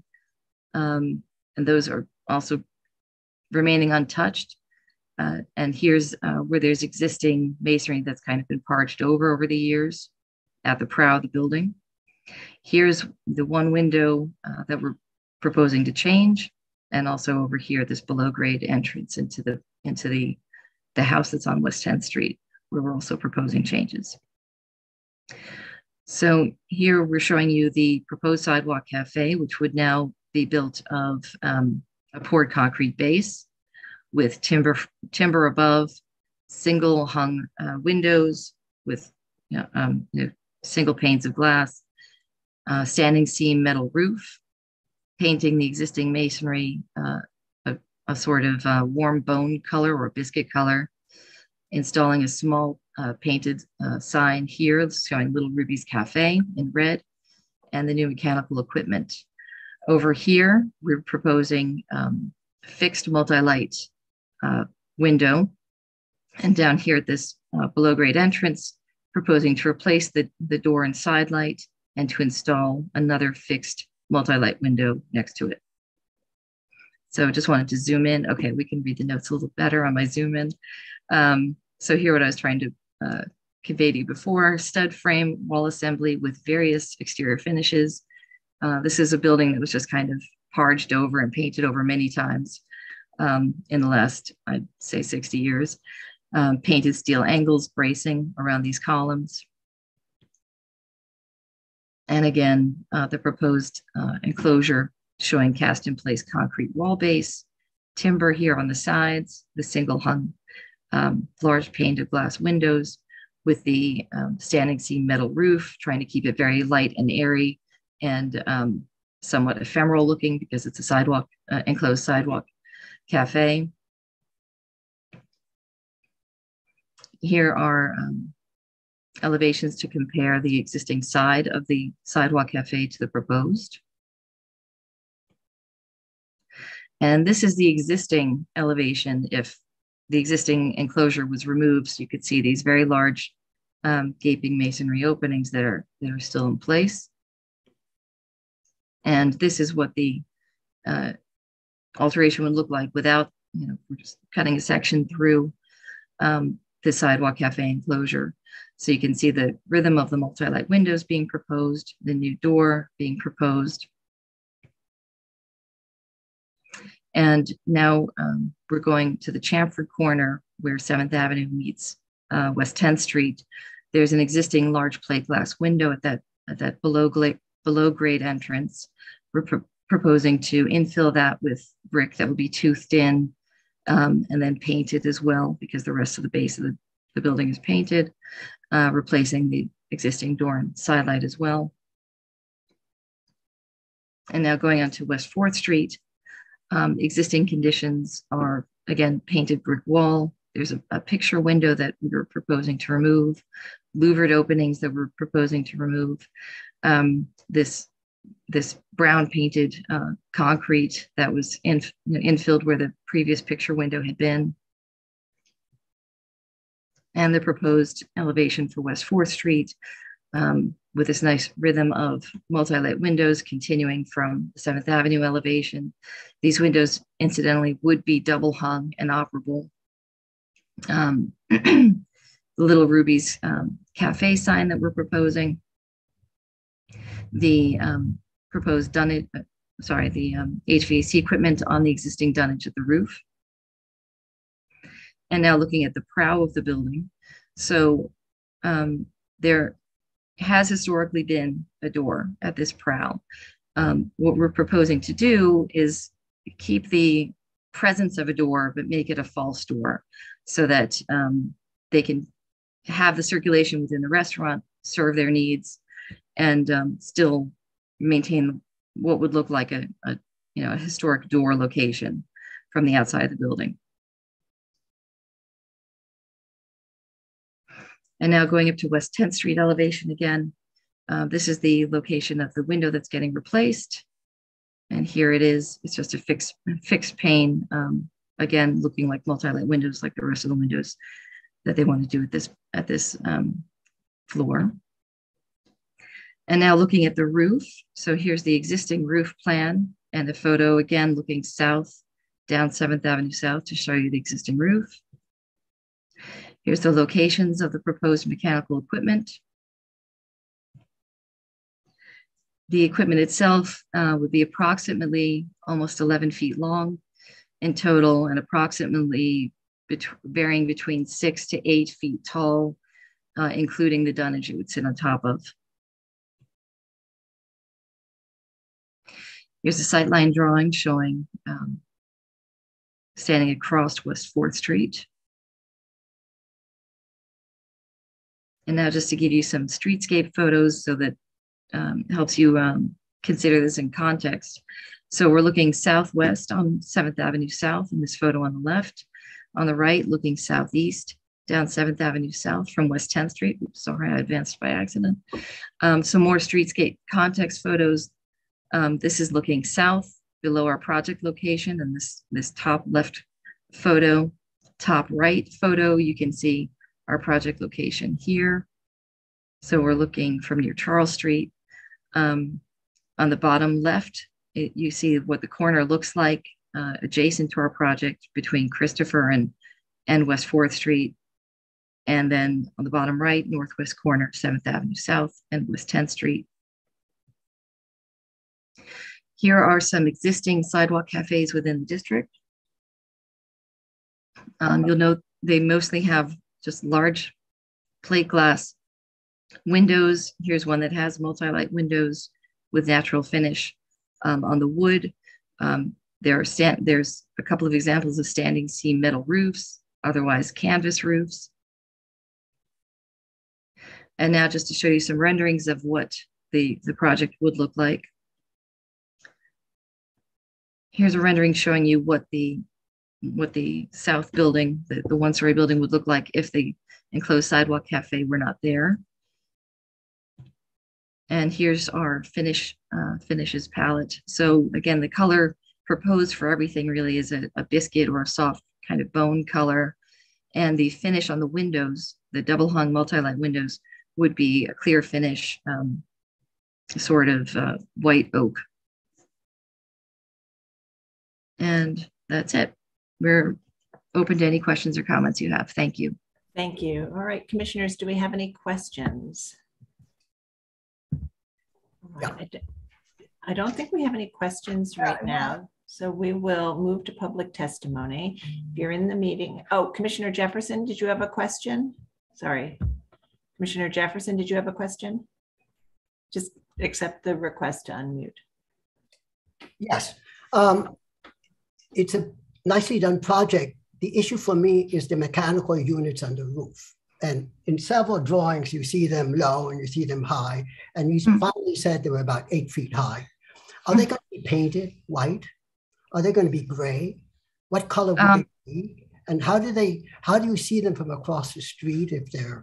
Uh, because this is this is a form, so I'm wondering how you mm -hmm. treat mechanical units. Um, you know, maybe it was a mistake on our part to not build a mock-up and take pictures of an actual mock-up. We just took it for granted that they're going to be so, so unavoidably visible that we didn't do that. Um, but we can, they can be painted, absolutely. They can be painted any color commissioners want. Um, but really in this case, there's just nowhere else for the restaurant to put their mechanicals because they don't have, um, they don't have a lease to the, the roof on top of the houses behind, um, and that would be too far anyway. There's no, you know, there's just no other space for them. Thank you. Okay, Commissioner Lutfy, please go ahead.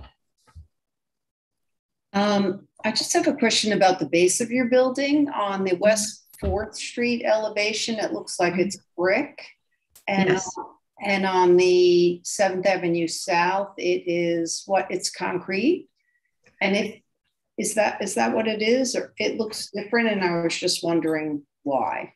Yes. So you mean in these two renderings you're seeing on the screen now? Uh-huh. Uh-huh. Right. So you're right. There's going to be some infill brick necessary um, on the West 4th Street elevation because where I'm highlighting right now, that's currently just a huge expanse of, of concrete, you know, um, parging that was done at some point. So there will be some infill brick. The rest of the facade is brick. On the 7th Avenue South elevation, where you're seeing here the, the sidewalk cafe enclosure, that will be um, that will not be brick. That's a separate because um, it's a separate structure, and they want to do it in concrete at the base, uh, simply for waterproofing. Um, if and because they think concrete also would be able to have a, a warmer texture to it than say something else you typically see like metal um, for these sidewalk cafe enclosures. Um, they can't continue wood down to the sidewalk because that would um, you know, that would just suck up water and become deteriorated very quickly. So you are seeing concrete at the base of the, the portion that would be the enclosed sidewalk cafe, whereas the rest of the facade of the main building is brick. And but would brick be a problem at the base?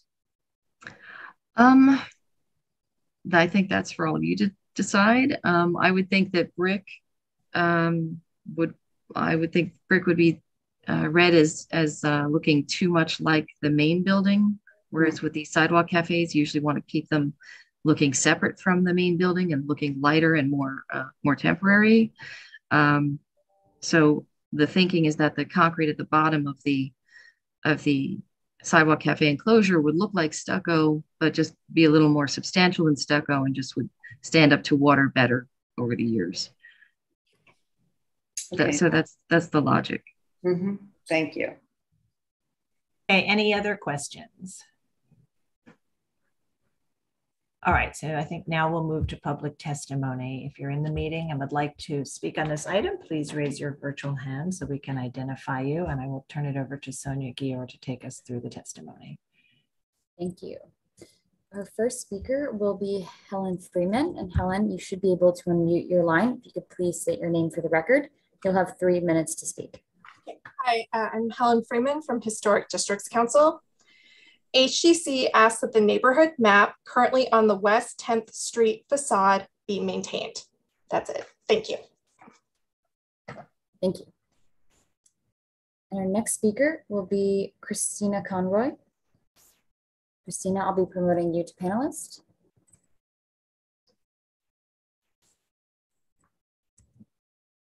And you should be able to unmute your line. If you could please state your name for the record, you'll have three minutes to speak.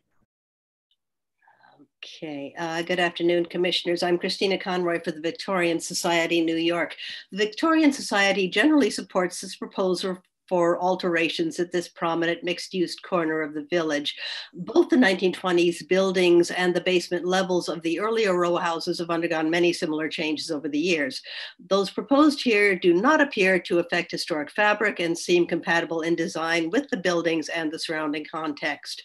We recommend, however, that the awkward square column covers at the prow of the 1920s building be removed to reveal the original round columns underneath seen tax photo on board seven. Thank you. Thank you. We do not have any other signups and there are no other hands raised and no submitted testimony. So I'll note that Manhattan Community Board 2 recommends approval of the off-white color for the building and the two painted signs, recommends approval of the windows on the 7th Avenue side and the window and door on the 10th Street side. And they also recommend the following, that the window on the 4th Street side be under the exposed beam matching the existing window placement and that a second separate window continue northward of this window and that the legality of the construction of an outdoor cafe at this location be unambiguously established by the applicant, and if it is found to be permitted, that the proposed design be approved. Okay, Turn it back thank, to you. thank you very much. All right, so I'd like to turn it back to you, Jackie, to see if you'd like mm-hmm. to respond to any of the comments that we've heard. Right. Um, regarding the map, I think uh, it is a charming map on the West 10th Street elevation. Um, I don't think that's necessarily a decision for this tenant, the restaurant going in, but um, I, I believe the landlord is watching this, so I'm, I'm sure they're hearing the, the community concerns about that. Um, I don't see a reason why it couldn't stay, but it, again, it's um, I don't think it's the tenant's decision. Uh, regarding the columns, um, that was considered. In a way, it's um, just the condition of the columns themselves, and you know, at some point, bracing was put around the brick columns, so eh, the condition of them is is um, unknown, and it's, un, it's unknown to me if they could um, you know do that with the with the landlord's permission put in put in the uh, the rounded columns again but it's it's definitely something that they can they can discuss with the landlord um, regarding the window openings that with that uh, the community board uh, brought up uh, for west fourth street. Yes i hear what they're saying about having the window opening aligned with um, the extent of the the exposed steel beam. Um, but uh, it's, it would be difficult for them to have two split that up into two separate openings then just because of what's happening uh, on the other side of the, the blank portion of wall uh, in the proposed floor plan floor plan so um, in this design they, they feel it's just more coherent and more of a, of a, of a uh, holistic treatment of the building to have this continuous row of multi-light double hung windows to mirror what's happening on the 7th Avenue elevation. Okay. That it? Um, I do see a hand raised, Sonia. So I just wonder if that's somebody who wants to speak on this item. Let's see. Okay, Tim Sykes, I'll be promoting you to panelist. And you should be able to unmute your line. If you'd like to um, state your name for the record, you'll have three minutes to speak. Hi there, my name's Tim Sykes. Um, I'm one of the partners uh, working on the project on the tenant side. Uh, thank you all for your time. Appreciate all the comments and feedback. The only comment I was going to make is that we would be open to brick uh, at the base of the outdoor enclosure if, if that's preferred. Um, that, that wouldn't be a problem from our side. That's all. Okay, thank you. Thank you very much. All right, commissioners, do we have any final questions? Okay, I'm sending you requests to unmute. So if you can, whoops. Go ahead and accept those, that would be great. And uh, we'll go ahead and close the hearing and begin our discussion. So Commissioner Jefferson, would you make a motion to close the hearing? No motion. Thank you. And Commissioner Devonshire, would you second that motion? Second. All in favor, say aye. Aye. Aye. Any opposed? Okay, so the hearing is closed and we'll begin our discussion. And we all, I think, are pretty familiar with the character of Seventh Avenue South, um, which is a, a, very mixed character as well as it has a very commercial nature. Um, and as it was, as described by the applicant, laid uh, later in intersecting the previous street grid, there are a number of unusually shaped triangular lots that resulted from that. And many of those contained taxpayers, which the commission has historically allowed a lot of change to, including demolishing and replacing with new buildings or um, a lot of, uh, or the commission has allowed a great flexibility in uh, readapting those, including um, flexibility in color and openings and um, and uh, windows and signage. So with that, we will look at this, but we'll look at it in the context of 7th Avenue South and then, you know, in the larger historic district, but knowing that we have had um, a lot of flexibility on 7th Avenue South or allowed a lot of flexibility on 7th Avenue South. I think that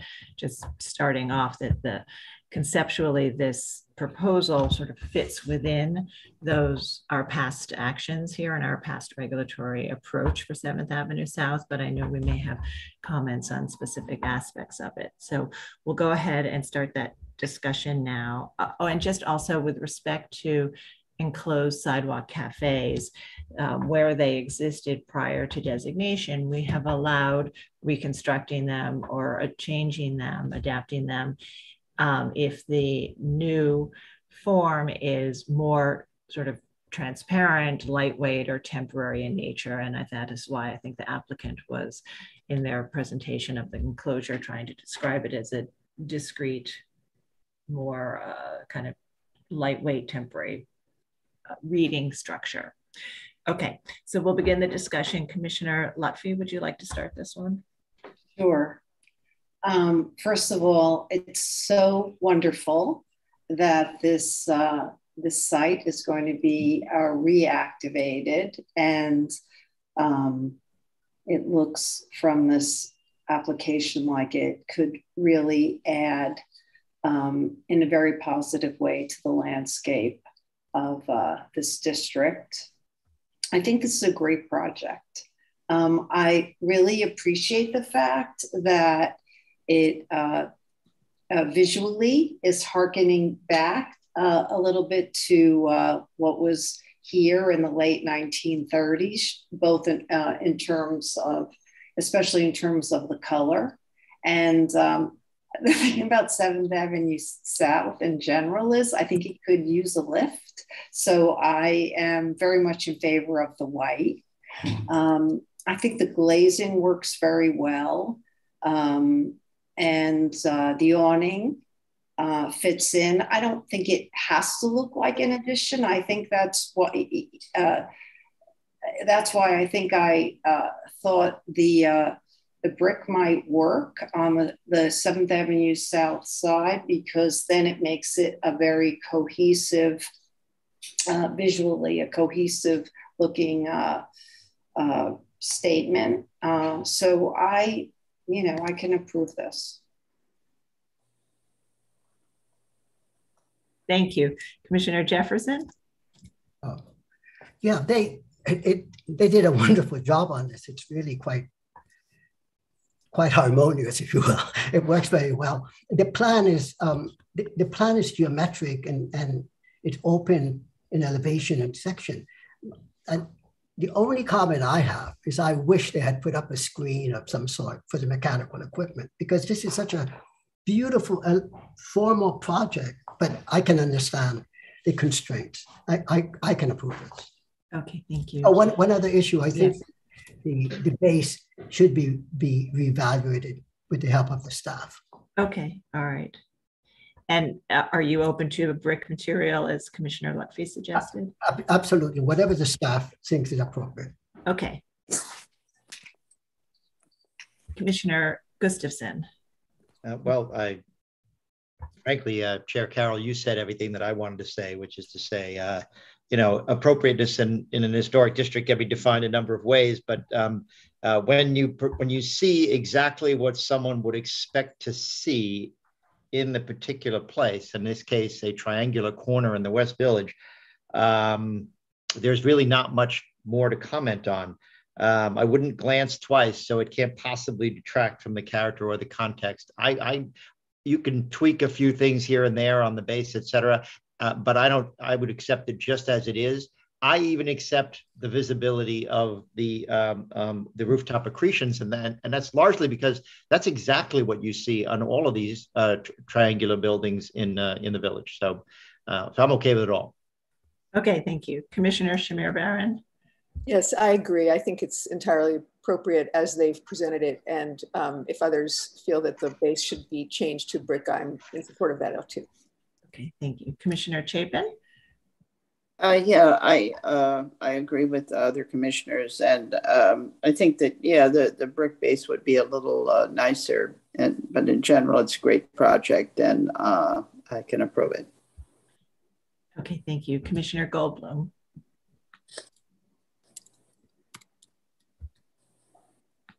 Oh, I think he stepped away. Commissioner Devonshire? Yeah, he stepped away. Yeah.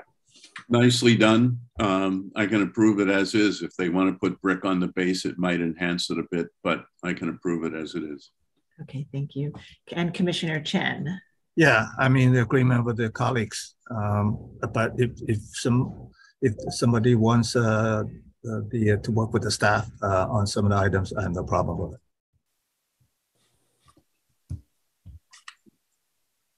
Okay, so I think um, we have just shy of six of us that are okay with it as is. But um, I think first I want to say I think everybody is very welcoming of this design and finds it conceptually to be very appropriate.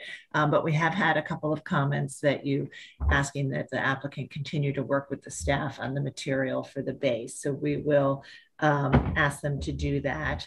And um, Commissioner Lutfy, would you make that motion? Sure.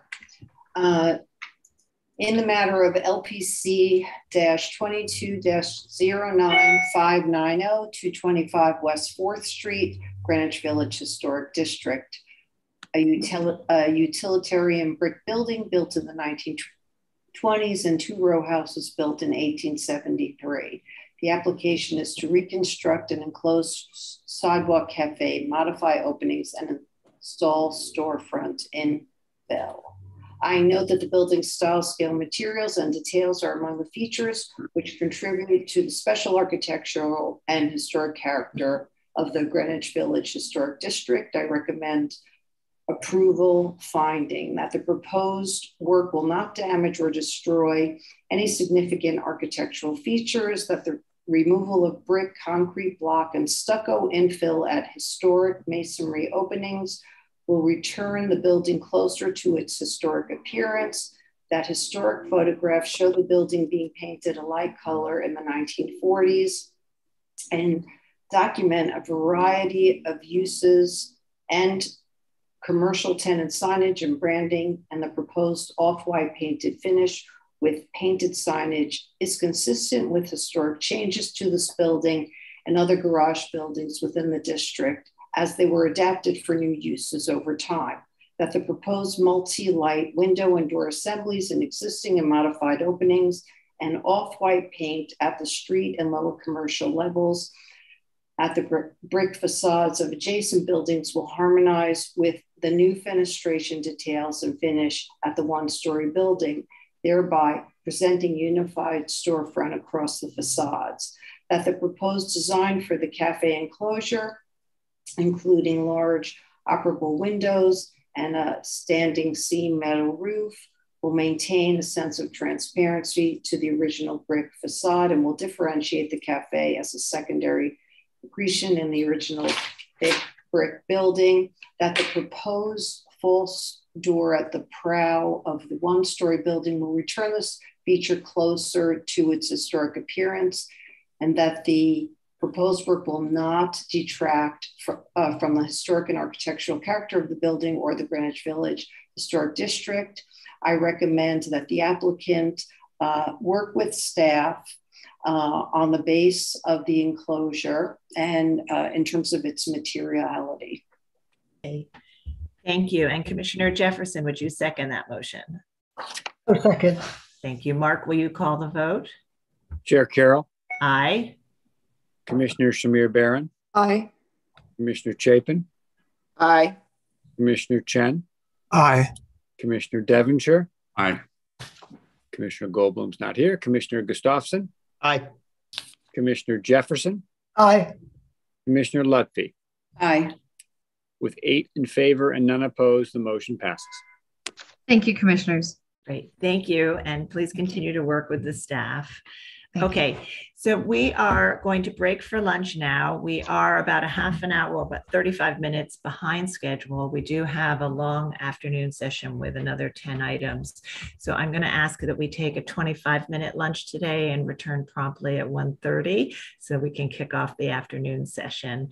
And um, we'll ask all members of the public to voluntarily leave the meeting at this time so that you can easily return at 1.30 and we'll see everyone else at 1.30.